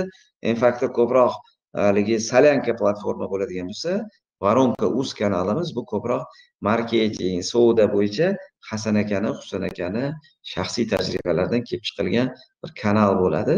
Kimga qiziq bo'lsa albatta tavsiya qilamiz. Marhamat keyingi savol. Keyingi savol bor ekan o'sha biznes konsalting e, biznes konsultatsiya sohasida koronavirus qanday ta'sir qiladi? Sizni fikringizcha?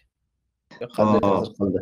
Qanday ta'sir qildi? Endi manimcha hammaga ta'sir qilgan bo'lsa kerak endi konsultatsiyangiz birovga foydali bo'lsa o'sha e, qadri agar farqi yo'q u bir soatni bahosi kimnidir bahosi yuz ming so'm kimnidir bahosi bir million so'm masalan man aytamanki mani bir soat vaqtim bir million so'm bir million so'm to'lasangiz man siz bilan birga bir ishlayman.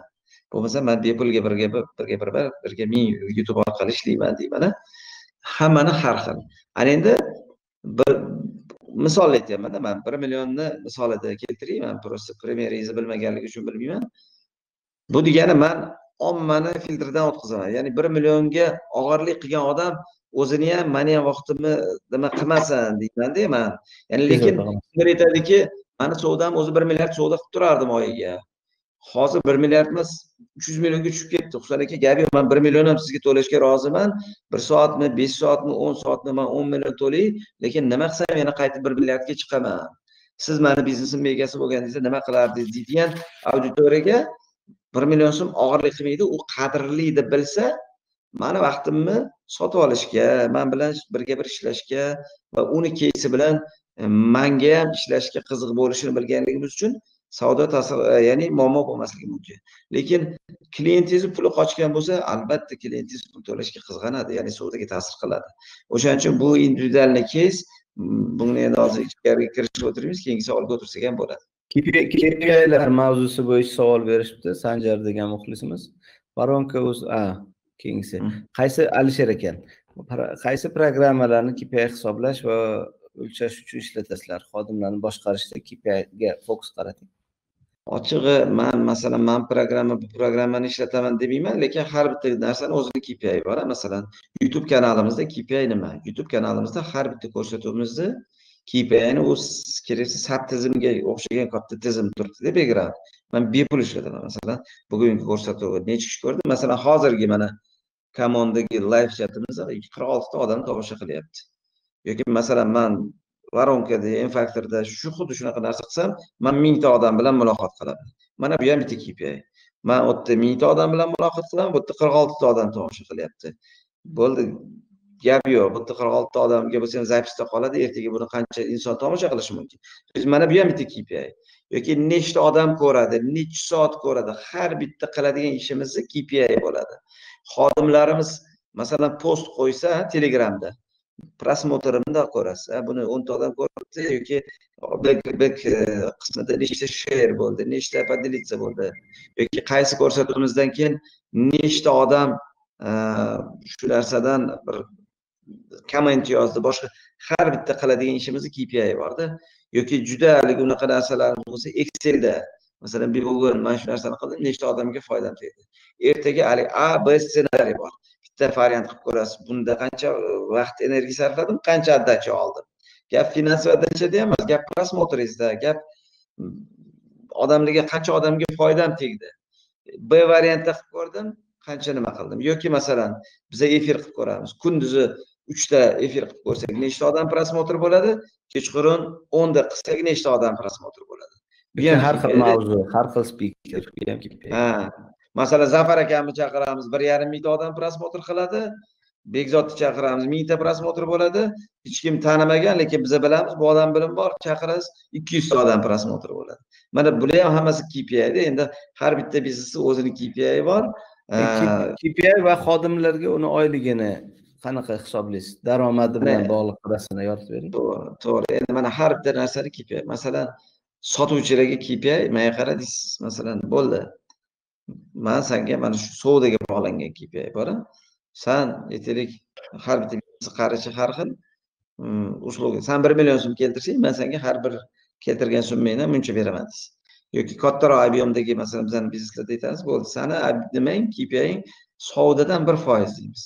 Masalan yuz million savdo qilsang sen bir million so'm premiya olasan masalan delida ikki yuz million so'm klientni обслуживать qilsang chunki u savdo qilish uchun orqasida yigirmata o'ttizta komanda ishlaydi. Снабжение bor buxgalteriya bor sklad bor boshqa bor. Lekin beshta xodim qo'yganmiz. Kimnidir солнечныйga kimnidir toshkentga kimdir viloyatga kimdir boshqa joyga biriktirganmiz. Har bitta xodimni kpi bor. Hozir man tekis kpi aytyapman. Hammasiga aytaylik bir xil berdingiz. Хотя bir xil bo'lmaydi masalan solnechnida mas'ul biriktirgan xodimingiz shundoq borsa ham agar molga klientingiz o'rgan bo'lsa o'zi shundoq ham besh yuz million savdo qilib qo'yishi mumkinda o'nta o'ttizta klientga. Lekin atka sirdaryo viloyatiga biriktirib qo'ygan menejer bor to'rttagina klient bor ellik million ham savdo qila olmasligi mumkin. O'shaning uchun joyiga qarab kpi baland pastli qadrini qo'yasiz boshqasiga qarab. Lekin shundoq qilasizki shu xodim zo'r narsada mana endi agar ish beruvchi bo'lsangiz bitta narsani bilishimiz kerak.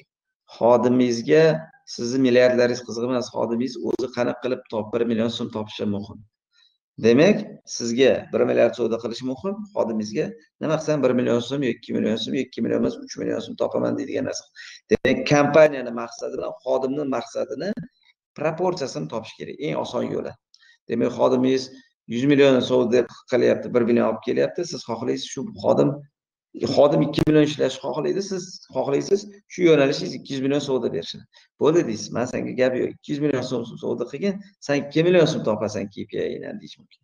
Lekin bir xil xodimlar aytadiki man qilolmasam deydi o'shaning uchun boshida fiksirованный oylik degan qism bo'ladi. San mana ko'p kichkina biznes egalari shunda xato qilib qo'yadi manimcha. Bo'ldi savdangdan man buncha foiz beraman deydi. Xodim aytadi man kelishim bor ketishim bor obetim bor boshqam bor. O'shaning uchun hech bo'lmasa bugungi toshkentni sharoitida boshqada входной bilet bir million so'm bo'lib qoldida endi besh yuz mingga bilmayman birov keladimi yo'qmi? Bir millionga yaqinroq fiksirni narsa kerak ya'ni mani kelishim ketishim ya'ni garantированный oylik xohlaydi. Gap yo'q deysiz. Unda man senga bir million garantированный summa beraman bir foizga bog'langan. Yuz milliondan kam bo'lsa ham san bir millioningni topib turasan lekin yuz million emas yuz ellik million qilsang san qo'shimcha besh yuz ming so'm premiya olasan. Ikki yuz million qilsang san qo'shimcha bir million premiya olasan deydigan mana man misol aytdim endi uni excelda bo'lsa ham qila olasizda. Endi excelni bilsangiz mana shu sodda qismini bilsangiz keyin уже qanaqadir crm tizimiz yoki bu один tizimingiz yo boshqa narsalaringiz bo'lsa ham kimdir shu narsani hisoblab oladi masalan sarvar yozyaptilar krizisdan keyin eski biznesni yopib yangisini ochmoqchi bo'lsam qaysi sohani tanlaganim ma'qul sizni nazaringizda? Qiyin masala endi chunki qaysi sohani tanlash faqat yaxshi ko'rgan sohangizni bilgan sohangizni va siz o'shani zo'r qilishingiz kerakki klient shu sarvar shu ishni zo'r qilibdilar zo'r narsa qilibdi deb kelib pulini to'lash kerakda endi bitta narsa klientni pulini olish oson emas. Klientni nimasiga довериесga kirish kerakda ya'ni masalan yana o'sha gapda masalan voronkani man qildim bir mingta odamni bir haftada to'pladim. Siz hozir voronka emas yana bir qanaqadir kanal qilsangiz balkim biza bir m faktora boshlagandek bir yilda mingta подписчик yig'arsiz chunki auditoriya sizni tanishni boshlash kerakda. Ana endi sizda bir yilda mingta yiqqunizcha vaqtingiz sabringiz yetsa yoki gap man pul uchun qilmayapman man yaxshi ko'raman man shu qilaman deb qadrli narsa qilib qilib qilib bersangiz endi bepul narsa beryapsizda. O'sha auditoriyangiz loyalni xuddi men aytdim men faktorda oltmish ming auditoriyamiz bor. Og'aynilar mana praktikum yoqardi sizlarga. Haqiqatdan ham faqat biznes egalariga ya'ni qaysi klient pul to'la oladi degan savollar topishinglar kerakda qaysi klient shu sizni xizmatingizga pul to'laydi. Chunki bepul bersangiz hatto mana mana shu efirimiz ham bepul mana o'ttiz yettita odam qolgan. Bepul bersangiz ham ba'zida mingta odam olmaydida lekin pulga u narsani yana sotib pul to'lab kelib uni olishga qadrlaydigan auditoriya kerakda. O'shaning uchun u birdaniga bo'lmaydi endi mana buni qilsam zo'r bo'larkan buni qilsam zo'r bo'larkan deydigan narsa bor. Har yerni qilma orzu har yerda bor tosh tarozi o'sha sohada kimlar bor? O'sha sohada kimlar ishni zo'r qilyapti deydigan joy bor. E, yana bir marta aytaman biznes ochishdan oldin o'sha sohada ishlayotganlarga hali siz biznes qilib bir millionmi uch millionmi besh millionmi topasizmi? Yo'qmi savolda undan ko'ra bir million bersa borib shogird bo'lib o'shalarni ichida ishni o'rganish ham ba'zida plyus deb ko'pincha aytaman. Agar yangi sohaga kirayotgan bo'lsangiz hech bo'lmaganda shu bola mehnat qilyapti deb bir million so'm berishi mumkin agar o'sha kompaniyaga haqiqatdan ham foydasi tegayotgan bo'lsa. Chunki biznes bo'lganda esa jon kuydirib baribir qilardingizu marhamat aka o'zbekistonda qaysi biznes sizning fikringiz bo'yicha eng daromad olib keladigan va qilish oson? Top uchtasini aytsangiz o'rta va kichik bizneslardan bilmadim. Bilmadim eng ko'p. Endi korzinkani ishi zo'r deyman. Endi korzinka korzinka bo'lgani uchun yigirma yildan ishlashyapti. Bu oziq ovqat sohasiga qancha odam kirib qancha odam ko'tarmasgan deb chiqib ketadiganlar bor. Oson osonligi oson emas masalanda. O'shaning uchun onlayn onlayn degani mana qarangda. Hasan aka mana biza ta'lim beramiz onlayn va offlayn praktikumni qilamiz praktikum masalan bu ham biznesda bundoq olib qarasa?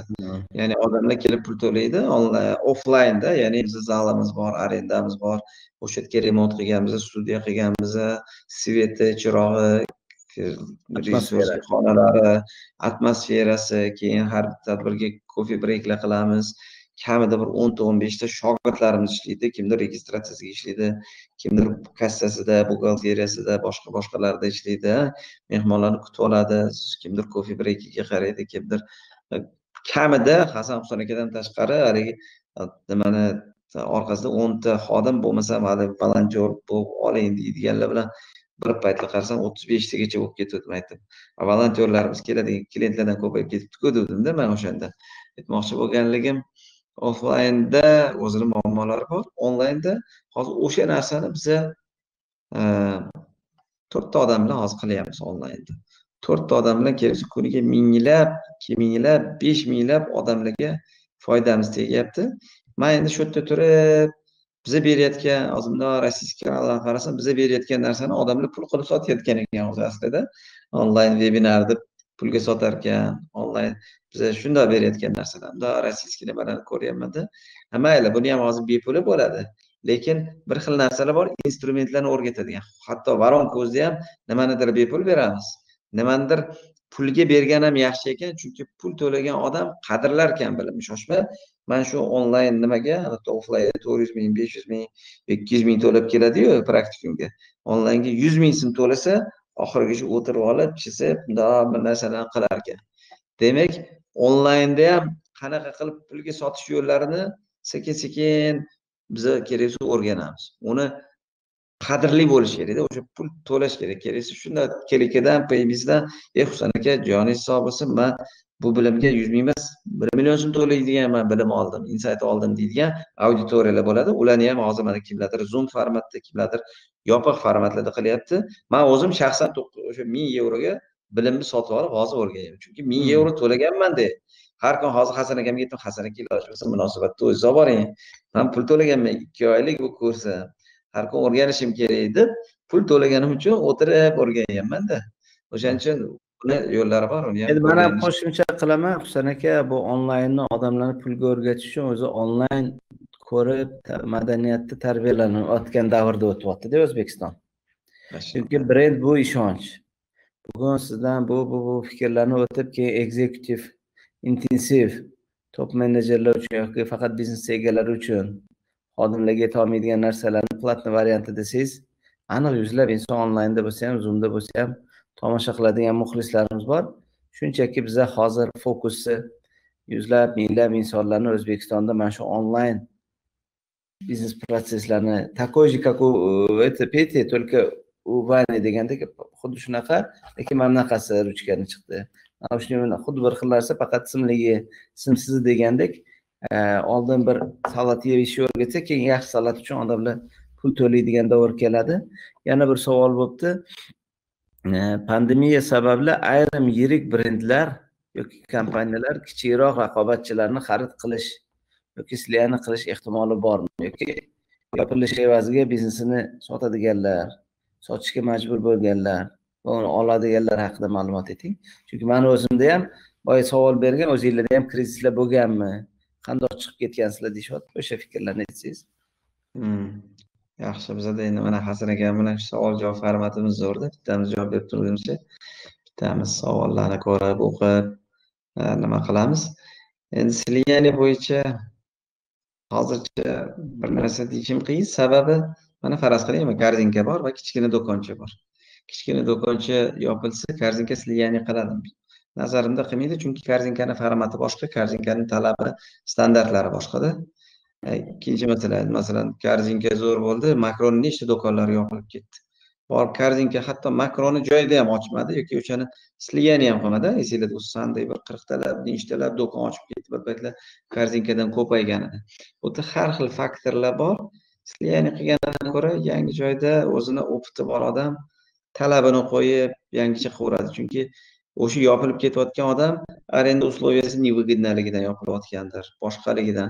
То есть bitta yopilsa arendator apiti ham tushib qoladi.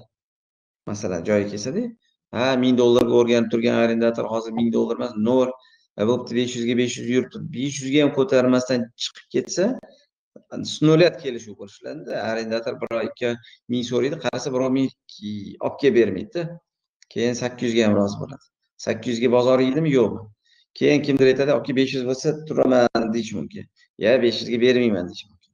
Keyin qarasa birov olti yuz ham yetti yuz ham bermagandan keyin unga besh yuzga olsangiz kelinsa yo man уже boshqa joy oldim deydimi yoki qiziq bo'lsa poylaydimi deydigan bozor talab va taklif hamma narsani joyiga qo'yadi yangi условияda bo'ladi o'shaning uchun endi yopilayotgan magazinni na vitrinasi qiziq masalan korzinkaga o'xshagan do'konga na u yerda qolib ketgan mebeliyu stol stuli kompyuter qiziq. Na uni ishlab yurgan metodikasi qiziq bo'lishi mumkin.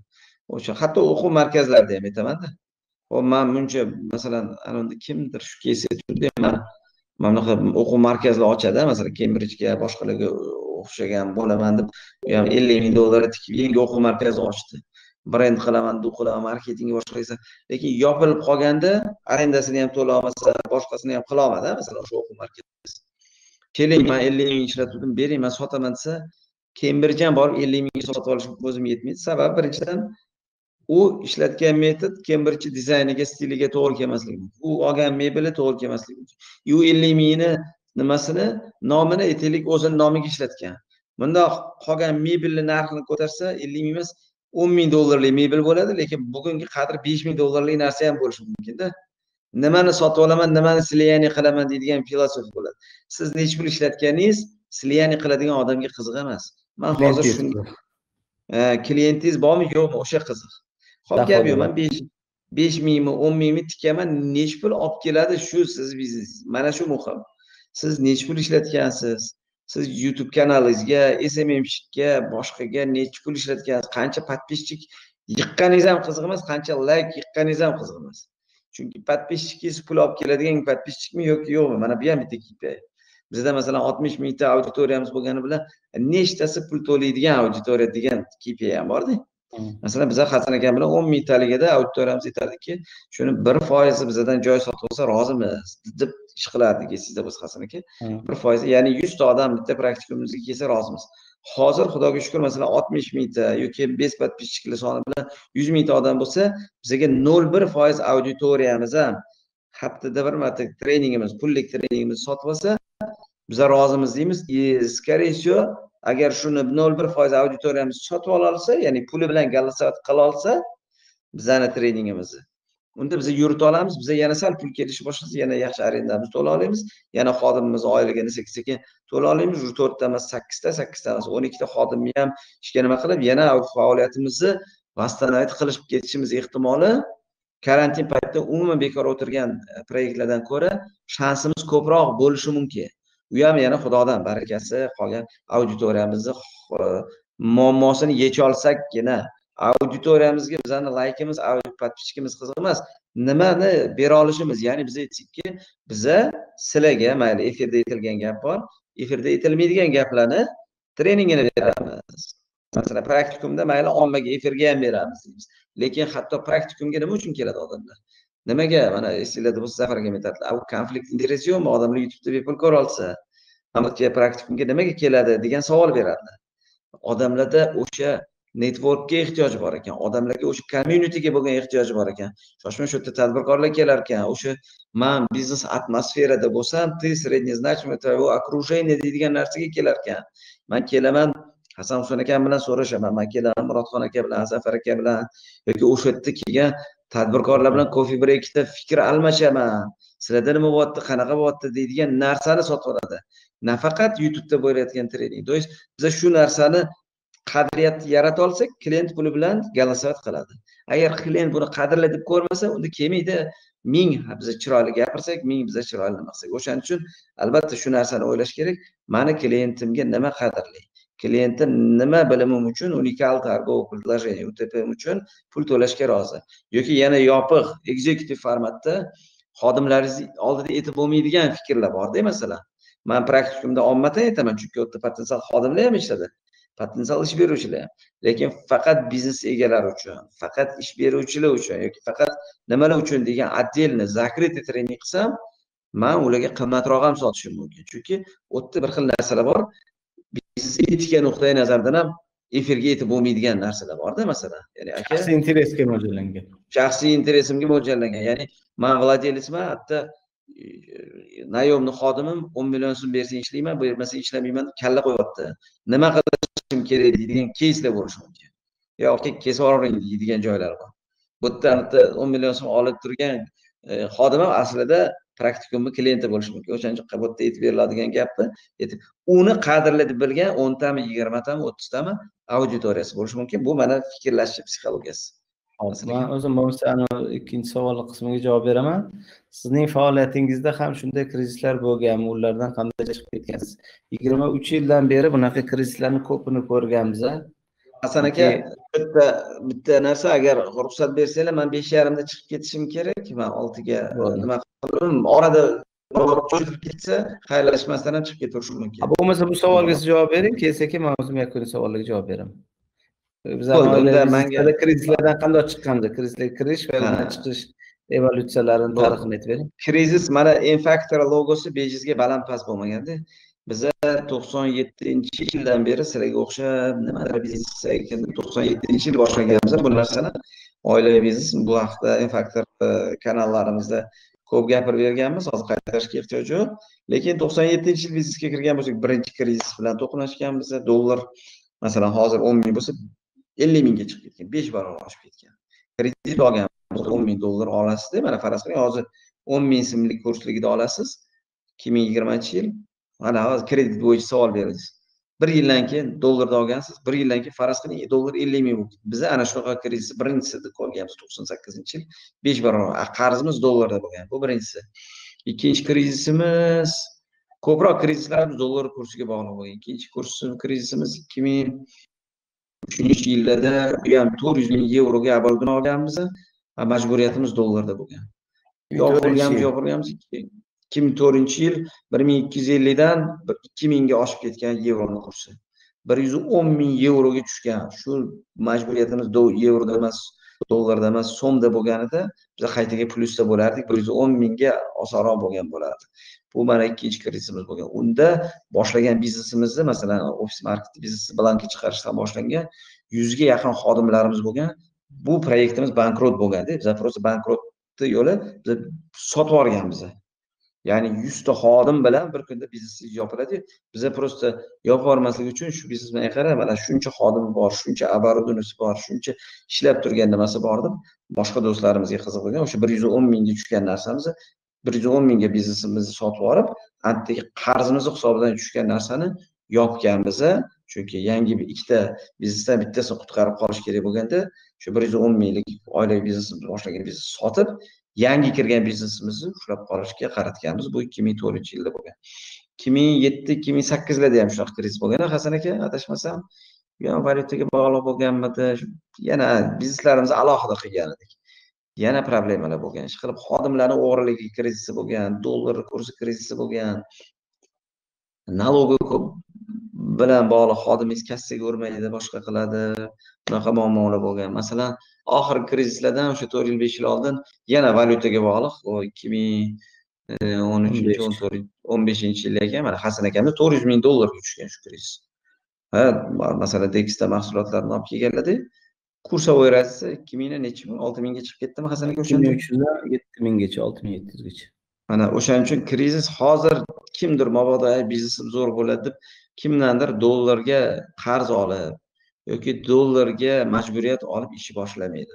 Dollarga mashina ham olmanglar dollarga uy ham olmanglar dollarga qarz olib majburiyat olib biznes ham boshlamanglar sababi katta ehtimol bilan ikki ming yigirmanchi yil oxiriga borib dollar kursi kamida o'n ikki ming bo'lishi ehtimoli bor. Endi bu prognoz biza ham kecha bergan savollarimizga javob. O'shaning uchun hozir faraz qiling o'n ming dollar olasizda e, o'n million e, o'n ming so'm hisobidan o'zingizcha biznes plan qilasiz narov nimasi o'sha qarzingiz o'n ikki ming bo'lib qolsa ham ya'ni kurs qarzingiz narov nimasi ikki ming dollarga oshgandek bo'ladida.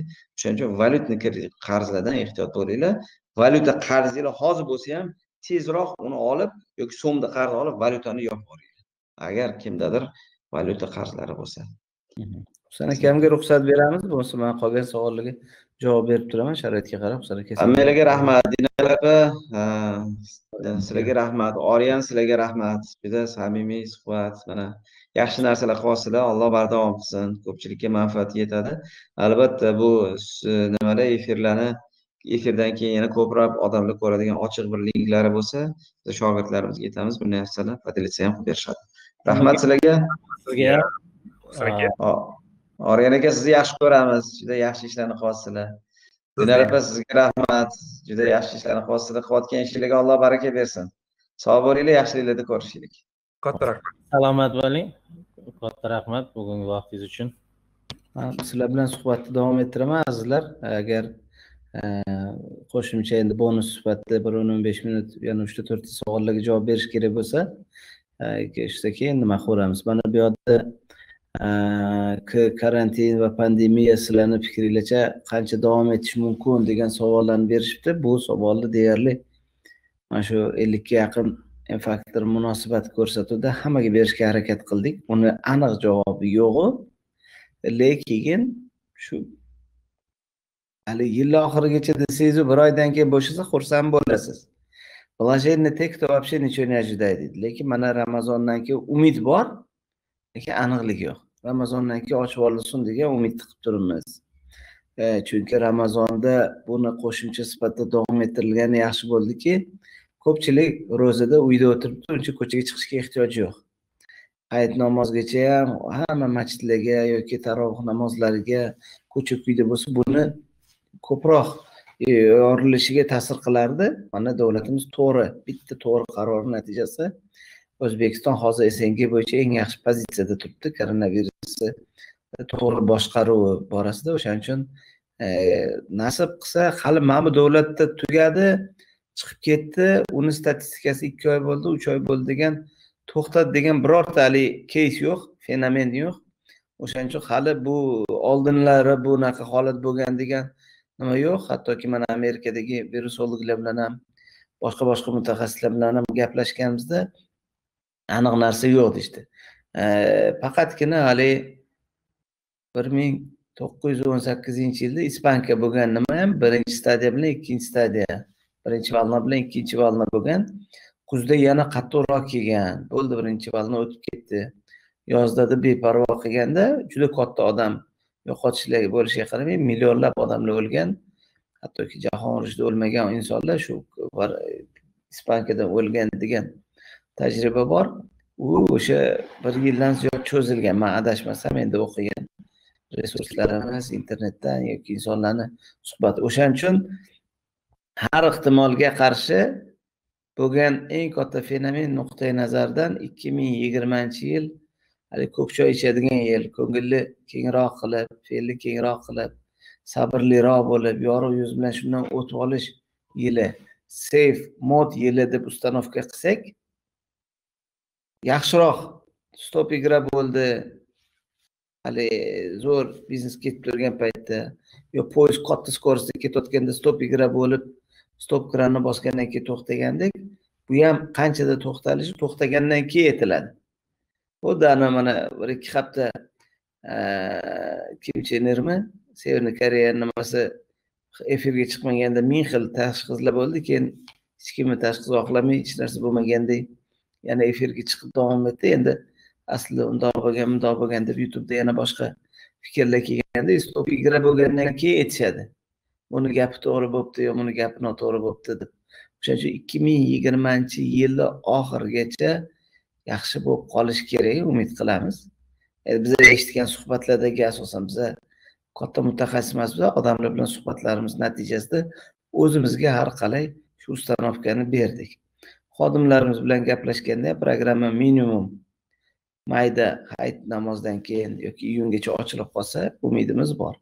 Ochilmay qolsachi degan savolga javob beramiz. Sentyabrgacha ishga tushib ketsa yaxshi farzandlarimiz maktabga chiqquncha e, yozda nimalar o'tguncha deymiz. Lekin mabodo xudo ko'rsatmasin sentyabrdan keyin ham yana yengilgacha haligi kuzda gripplar sezoniga qo'shilib nima qilsa u og'irroq kelish ehtimoli bor degan e, nimalarni ham fikrlarni bildirishdi o'shaning uchun eng asosiy narsa xudo ko'rsatmasin yengilgacha bu holat ketadigan bo'lsa mana shu bir haftaga yetadigan ovqatim kelishi oldin bo'lgani uchun kredit olganmiz kelishiga umid bo'lgani uchun lizing olganmiz kelishiga umid bo'lgani uchun to'yanaga ishonib to'y boshlaganmiz hozir kelishi bo'yicha hech qaysi dunyoda hech qaysi o'zbekistonda hali любой успех оставляет след degandek hali uspeh yo'q izini qoldiradigan. O'sha uchun koronavirus bo'yicha programma minimum iyundan programma maksimum yengilgacha vilkani olsak o'shanda aniq bo'ladiki hasan aka adashibsiz. Iyunda hammasi zo'r bo'lib ketdi desanglar bitta osh qilib beramiz. Xursandchilikda hurmati bir osh yeb iloyim shunaqa bo'lganda yaxshi deymiz. Lekin iyunda to'xtaydi deysiz iyul bo'ldi haligacha ishga chiqmadim. Iyulgacha bo'lsa sabr qilib tura olaman deb yuz so'mni hammasini ishlatib qo'yibman. Hozir o'n so'mga zorman. Endi nima qilay degan holatlardan alloh o'zi asrasin. Buning uchun beparvo bo'lishimiz kerak. Parvo qilmaymiz ko'ngilga yaqin olish kerak emas lekin beparvo bo'lish kerak emas. O'shaning uchun stop igraga stop igra rejimida biznesni nima qiladi xuddi shunaqa stop igra tushgandan keyin mana haligi gorkadan akvaparkga tushib tushamiz keyin yana boshqatdan chiqamizu. Yana kerak bo'lsa el qator hammamiz boshqatdan chiqamiz. Shu gorkani yarimida to'xtab qolaymi tepada poylab turaymi oyliklarimni ishlatavering boshqa qilaymi deganda aniq bir javob yo'q. Mana endi boya kiyim kechaklarda boshqa nimalarda ketdi? To'g'ri kiyim kechaklarda oldin o'nta kiyim kiygan bo'lsak hozir uyda bo'lsak bitta kiyim ham yetyapti. Lekin shunga qaramay? Haligi parvo qilmay onlayn telegramlarni onlayn facebooklarni onlayn instagramlarni onlayn tiktoklarni o'zlashtirib turaveraylik. Bu pandemiyadan keyin onlayn bilan chiqamiz. Bu pandemiyadan keyin telefonsiz hayotni tushunmagandek e, elektr chiroqsiz hayotni tasavvur qilolmagandek onlayn biznes kanallarsiz onlayn youtubesiz facebooksiz instagramsiz kliksiz tiktoksiz hayot qanday yashayapsizlar deysiz yoki masalan viloyatdan kelib qaysidir bir chekka qishloqqa borib konditsioner bo'lmasa issiq sovuq suvi bo'lmasa televizor bo'lmasa diskomfort his qilasizu e, tinchgina toshkentga bora qolay bu yoqda hamma sharoit bor deysizu xuddi shunaqa biznesda albatta must have nimada? Onlayn E, telegram kanal facebook kanal instagram youtube kanallarimiz bo'lishi kerak bo'ladi onlayn mana kliklar orqali paymail orqali to'lovlar rivojlanadi onlayn dastavkalar rivojlanadi. Buni harakat qilamiz. Yana bir xilla pul bo'lmasa qandoq onlayn rivojlanadi? Karantinda uyda o'tirganimizdan keyin majbur bo'lsak onlayn pitsalarni zakaz qildik bolalarga. Onlayn ovqatlarni zakaz qildik onlayn bazardan zakaz qildik. Vaqt o'tgandan keyin yalqov bo'lib qolasiz. Yigirma bir kun bir narsaga ko'nikkaningizdan keyin yigirma bir kundan keyin mana ikki oydan beri uyda qoling uyda qoling deyishdiyu hali ikki oy emas to'rt oy ishga chiqing deymiz. Odamlar eski rejimga ko'nikish qiyin bo'ladi o'shaning uchun azizlar bu narsalarni ham inobatga olib qo'yasizlar. Man o'ylaymanki agar yana qanaqadir savollar qolgan bo'lsa javob beraylik. Mabodo bo'lmagan bo'lsa o'sha va'damiz bir yarim soat edi. Yoqqan bo'lsa mana plyus yozinglar. Yoqmagan bo'lsa minuslarni qo'yinglar. Qaysidir savollarni esdan chiqargan bo'lsak aytsanglar bonusni savol sifatida e, javob beramiz va bugungi nimamizga ham yakun yasashga harakat qilamiz. Biz bilan birga bo'lib mana qirqdan ziyod insonlar muxlislar birga bo'lishdi. Hali do'st bilan obod uying. Gar bo'lsa u vayrona ham garchi do'st kelmas ekan vayronadir koshona ham. N faktorda yuzlab insonlar bularida hech kim yo'q. Kichkinagina onlaynda qirqta insonni diydor g'animat suhbatini guvohi bo'ldik. Buning uchun mana oryan aka mehroj ularga rahmat dinar opamga rahmat farruh akamga rahmat bu tashkilotchilarga rahmat deb qolamiz. Sizga ham juda katta rahmat. Savollar hali bor hasan aka. Bu yerda korporativniy kultura kompaniyangizda bormi va shu haqida savol berishibdi albatta. Bu bu juda juda muhim. Korporativniy duh korporativniy kultura bu nima degani? Ba'zida shunchalik ko'nikib ketamizki ekosistema bilmaymiz. Farqini ko'rganda biladi.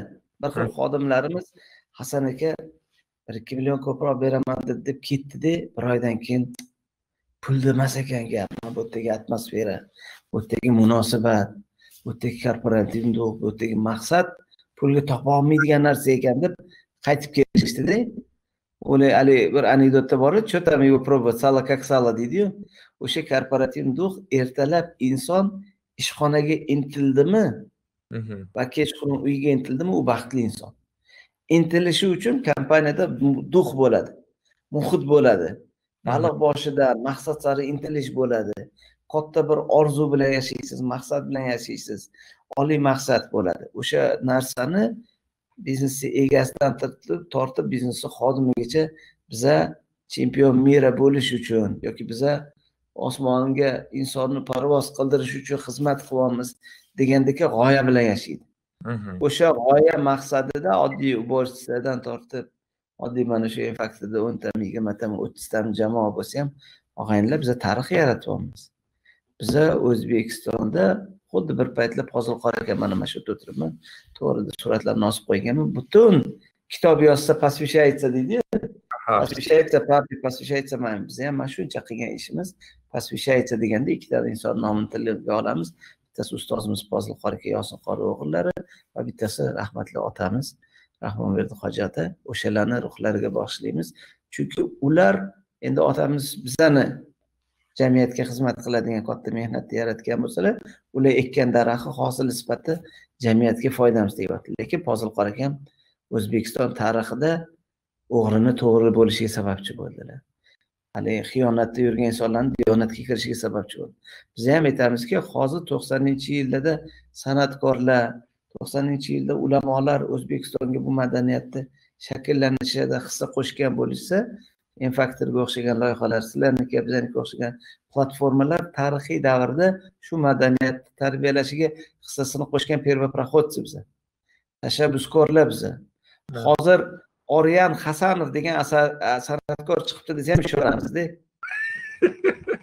lekin o'sha payt san'atkorlar sanoqli edi. Hozir e, hasan farruxov degan qori aka chiqibdi desa ham ishonamiz lekin o'sha payt fozil qori qobil qori boshqa edi. G'ulomjon yoqubov bobomurod hamdamov yoki yulduz usmonova degandek sanoq bugun birinchi o'zbekistonda bu spikerlar bu yangi davrda oxirgi ikki ming o'n oltinchi yildan keyingi davrlarda yigirma besh yil qo'rqib yashaganmizda xuddi shu qadriyatni bekitib bu kafeda yetti yil palataga a'zo bo'lib qo'ysakmikin?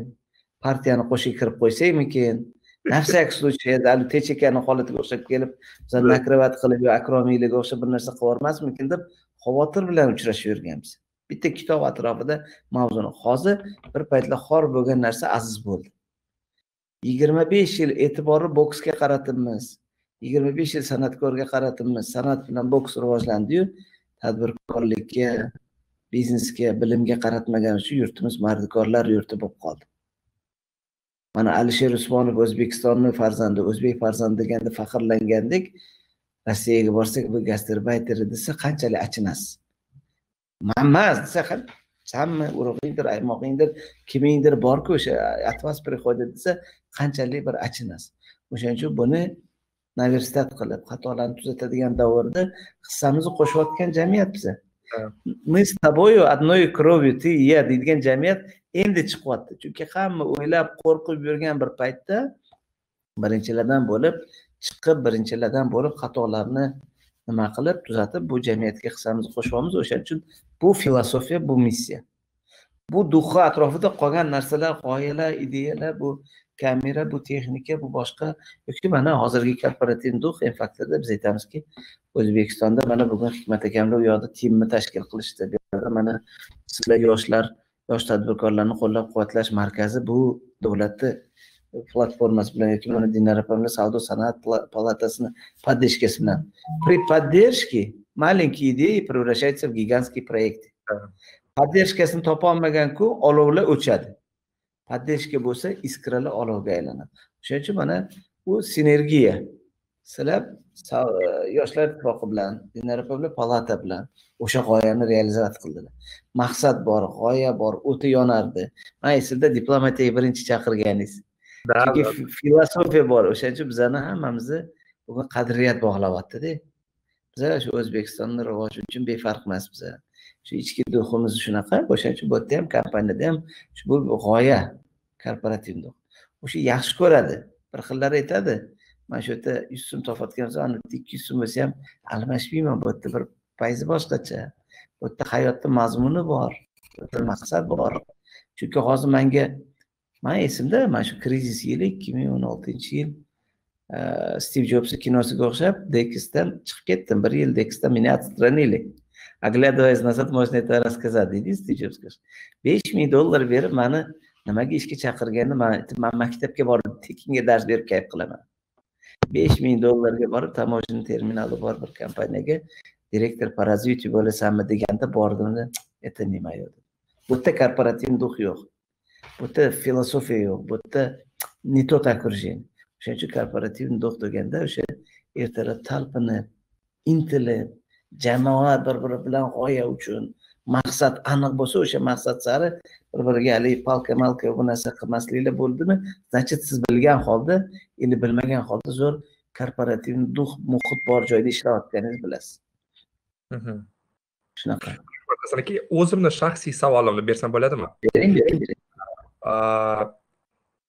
Siz o'zingizni uchta kuchli tomoningizni aytsangiz va qolganini tushundingiz va uchta kuchsiz nimani ustidan ishlash kerak? Nimada опережает вас deb mana shular haqida gapirsangiz man o'ylayman. Qiziq bo'ladi keyin farruh aka ham bilan efirga chiqsalar agar yaxshi bo'lardi. Uchta yaxshi jihatim ham kamchiligim ham shu bo'lgan joyidan bittasi он же и сильная сторона он же и слабая сторона ko'pchilikni o'zimizga o'xshatamiz ko'nglimiz bo'sh diplomatiya biza yaxshi nima qilamiz hali yaxshi o'g'ri hammani o'g'ri deb biladi to'g'ri hammani to'g'ri deb biladi ishonuvchanmiz o'zimizga o'xshatamiz birovlarga yaxshilik qilib oxirgi haligi muzlab ketolmadi desangiz mana shu kiyimni ham yechib beradigan dobriyligim bor. Undan kimlardir foydalanadi kimlardir nima qiladi o'shaning uchun foydalanmaslik uchun mani zaif tarafim слишком добрый bo'lgani uchun har doim bilganmanki manda e, единоличный biznes boshqara olmayman. O'shaning uchun husan aka жесткий husan aka bilan yaqindan ishlaganlar biladi. Yo bu yoqqa qaramay qattiqroq dilini og'ritsa ham g'ulib uradi. Man diplomatiya qilib turaman man birov dilini og'rita olmayman. Biznesda u yoqda ham dekisda ham ayolim shunaqa. Ничего личного это biznes deydi siz ko'nglingiz bo'shlik qilib mundoq qilsangiz vayo mayo. Mayo mayo qiladi. U suiiste'mol qiladi. O'shaning uchun bu bizani suiiste'mol qilmasligi uchun man zo'r нападающий bo'lsam kuchli e, zashita bo'lgan odam это не по моей линии это уже по линии husan aka deymanda man manipulyatsiya qiladigan narsalar сразу kelishganman mani слабый tarafim dekisda ayolimda oilaviy bizneslarda oka ukalarda edi infaktorda faktorda husan akada. Man o'zi odamlarni zo'r dahnoylat qila olaman zo'r motivirovat qila olaman zo'r insayt bera olaman zo'r mечтать qilishni bilaman vizualizatsiya qilishni bilaman marketingda sodada развитияda zo'rman. Слабый tarafim. Ko'nglim bo'shroq. Nimaga yo'q deyolmayman. Учетga yo'g'roqman sistemani buzaman. Xalaqit qilaman. Zo'r narsalarni yaratgandan keyin dekisga xalaqit qilmayapsizlar hasan aka siz. Bo'shsiz shundoq ham yaxshi olib turgan odamga tekinga ham podarka qilib yuboradigan odatingiz bor o'shaning uchun aytamanki u yoqda sistema ishlash kerak. Manchester kompaniyani litsosi bo'laylik diplomatiya yaxshi kompaniyaga xalaqit berish kerak emas bo'lgan paytda. Man o'shaning uchun motivatsiya qilib kompaniya qilaman. Tizimiga bergandan keyin o'sha buyog'i hattoki hech qachon отдел продажаga yo boshqaga уже sistema ishlaydi. Bolalar уже biznes protsess даже сделкani завершенияsi pulini talab qilishi boshqa ishlarni nima qiladi? Shuning uchun man o'ylaymanki pluslarini ham minuslarini ham aytib berdim. Rahmat. Farruh aka ham ulanyaptilar kamerada. Yana farruh akam ko'rdim aka загрузка bo'lyapti bugun nimagadir butun respublika bo'yicha internet sal suvsizlashib ishlayapti shuning uchun bu sizlarda sizlarda ham mana farruh aka ulandilar hasan aka ham yana hurmatli assalomu alaykum bugun o'zi har safar hasan aka bilan husan aka bilan gaplashganda suhbat tarzida o'tadiyu lekin judayam bir foydali tajriba endi bu faqatgina eng eng faktori ham balki muvaffaqiyat shundadir. Bu shu bilan faktor orqali nozvaran va boshqa praktikum endi n faktori ham yo'nalishlari keng bo'ldi. Muvaffaqiyat shunda bo'lsa kerak o'zi e, ko'p yillik tadbirkorlik faoliyati va aslida o'zim biznesdagi chuqur uzoq yillik tajribani hozir yosh tadbirkorlar bilan endi biz yosh ittifoqi bo'lgandan keyin men bir hamkorimiz mana savdo sanoat palatasi umuman tadbirkor yosh qarziga bugun bilim kerakligini sekin sekin tushunib boryapmiz va shu yo'lda hasan aka husan aka juda katta e, o'zbekistonda ish qilishyapti desam uchun e, ham rostdan minnatdor bo'lish kerak. Chunki mana youtubeda youtubeda va boshqa tarmoqlarda yaxshi bir kontent yaratyapti shu yoshlarimizni nafaqat bu endi pandemiya yoki karantin sharoitida balki o'zi umuman har doim ham biznesga bilim baribir kerak kerakligini biza hozir berayotgan savollarda ham ko'ryapmiz albatta bu tadbirkorlik ham xuddi boshqa kasbga o'xshab mutaxassislikka o'xshab maxsus bilim talab etadi va shu bilimni berishda hasan aka siz charchamang. Hasan akamiz endi sal ketishga majbur bo'ldi lekin o'ylayman bugungi vebinarimiz ham judayam foydali bo'ldi chunki hammani tadbirkor borki u katta tadbirkormi kichik tadbirkormi? Hozir birinchi shu xayolidagi savoldan biri shu pandemiyadan yoki karantindan biznesimni qay darajada olib chiqaman ya'ni e, muvaffaqiyatli kimdadir balkim bu muvaffaqiyatli bo'ldi chunki e, sal bo'lsa ham avtomatizatsiya qilishga majbur bo'ldi bu sohasini deylik. E, o'zini it решение e, deymiz ya'ni it yechimlarni ham o'zini biznesiga kiritishga vaqt va vaziyat o'zi majbur qildi va bu sohadagi ancha ilg'orlashishga lekin shu bilan birgalikda baribir judayam ko'pchilikda sotuvni hajmi tushib ketgan saqlash xarajatlari xodimlarni e, saqlash ish o'rnini saqlab qolish xarajatlari. Qisqasi bu juda yam katta e, masalalar bor va ana shu e, masalalarni atrofida uzoq yillik tadbirkorlarni o'zidan bu narsani eshitish va maslahatini olish shu bilan birgalikda man o'sha ko'rsatuv avvalida ham aytgandim hasan aka akani boshqa tadbirkorlar bilan bo'ladigan muloqotni ham man doimiy kuzatib borishga harakat qilaman. Chunki bu e, nafaqat e, bir sohadagi balki turli sohalardagi muammolarni e, va kamchiliklarni shu bilan birgalikda o'sha sohada bo'ladigan yutuqlarni ham xabardor bo'lish imkoniyatini beradi. Shu nuqtai nazardan ham bu juda yam muhim. Va bugungi biz uchun bizlarni yoshlarimiz uchun umuman loyihamiz uchun ajratgan vaqtingiz uchun judayam juda minnatdormiz hasan aka husan akamga ham albatta yetkazib qo'yasiz endi ularni ham o'sha javoblari urinishlari judayam katta bo'ldi bugungi vebinar jarayonida ham o'ylaymizki endi bu faqatgina sizdagi tajriba husan akamdagi tajriba endi bu bitta vebinar bilan e, bir ikki soat bilan cheklanib qolishga yetarli bo'lmaydi. Undan keyin ham doimiy ravishda sizlarni ham o'zinglarni loyihalaringlardan bo'sh bo'lgan vaqtinglarni topish katta masala. O'sha o'sha vaqtini topib undan keyin ham shu yoshlarimiz uchun boshlovchi tadbirkorlarimiz uchun shunday bir kichkina bo'lsa ham bir muloqotni doimiy ravishda tashkil etib borishga harakat qilamiz. Uni ko'lamini ham kengaytirishga harakat qilamiz. Shuning uchun sizlarga katta rahmat shu bilan birgalikda bizani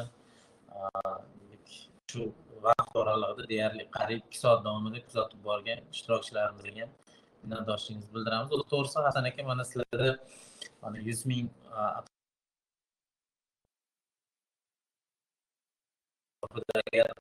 obunachilaringlar kuzatib borib followerlar o'zlariga bo'lsa mana shuni har bir bizani kuzatayotganlarimiz umuman kim bo'lishidan qat'iy nazar qaysi biznes trening bo'lsin ozgina bo'lsa ham demak rivojlanishga ishtiyoqi bor odamda bo'ladida. Chunki bu bir kinolarga o'xshab yo boshqa shunga o'xshab o'ziga jalb qiladigan masala emasda. Lekin kerakliroq va muhimroq bilim shuning uchun har biriga shunaqa odamlarga rahmat aytgimiz keladi. Boriga shukur hammanglarga bugun bizani kuzatib borganinglar uchun rahmat. Arian bu bugungi tadbirni tashkil etishga yordam bergan mana e, siz siz boshligingizdagi jamoa shu bilan birga savdo sanoat palatasidagi mana endi bizni sobiq jamoa endi lekin hozirgi hamkorlarimiz dinara faridni boshchiligidagi bir e, jamoaga ham o'zimiz minnatdorchiligimizni bildiramiz. Albatta undan keyin ham shu agrofond loyihasi doirasida vebinarlarimiz davom ettirishga uni imkon qadar e, hammaga qiziq bo'lgan mavzularda e, olib borishga harakat qilamiz. Hasan akamlar boya aytib o'tib ketdilar bir kichkina bir mana tim universitetini tashkil etilishi o'sha hikmat aka abdurahmon misollarida. Keyingi spikerimiz ham hikmat aka xudo xohlasa o'zlarini mana shu juma kungi bo'ladigan vebinarimizda aynan shu tajribani va umuman nima uchun alohida tadbirkorlar uchun universitetni o'zi nimaga kerakligi va shu atrofidagi bir qancha shu qiziqarli savollarga javob bersalar kerak. Va to'g'risi mana shu har bir vebinarimizga yulduzli sostav bo'lib boryapti ya'ni yulduzli ishtirokchilarimiz spikerlarimiz buning uchun hammangizdan minnatdormiz rahmat sog' bo'linglar salomat bo'linglar hamma muxlislarga rahmat birga bo'lganlarga xudo xohlasa yana nasib qilgan bo'lsa ko'rishamiz rahmat rahmat keyingi spikerimiz qisqacha aytaman hikmat aka abdurahmonov bo'ladilar batafsil ma'lumotlarni olish uchun kanallarimizga obuna bo'linglar hammaga rahmat hasan aka sizga yana bir marta rahmat sog' bo'linglar dinar opamga ham rahmat hammanglarga rahmat ham rahmat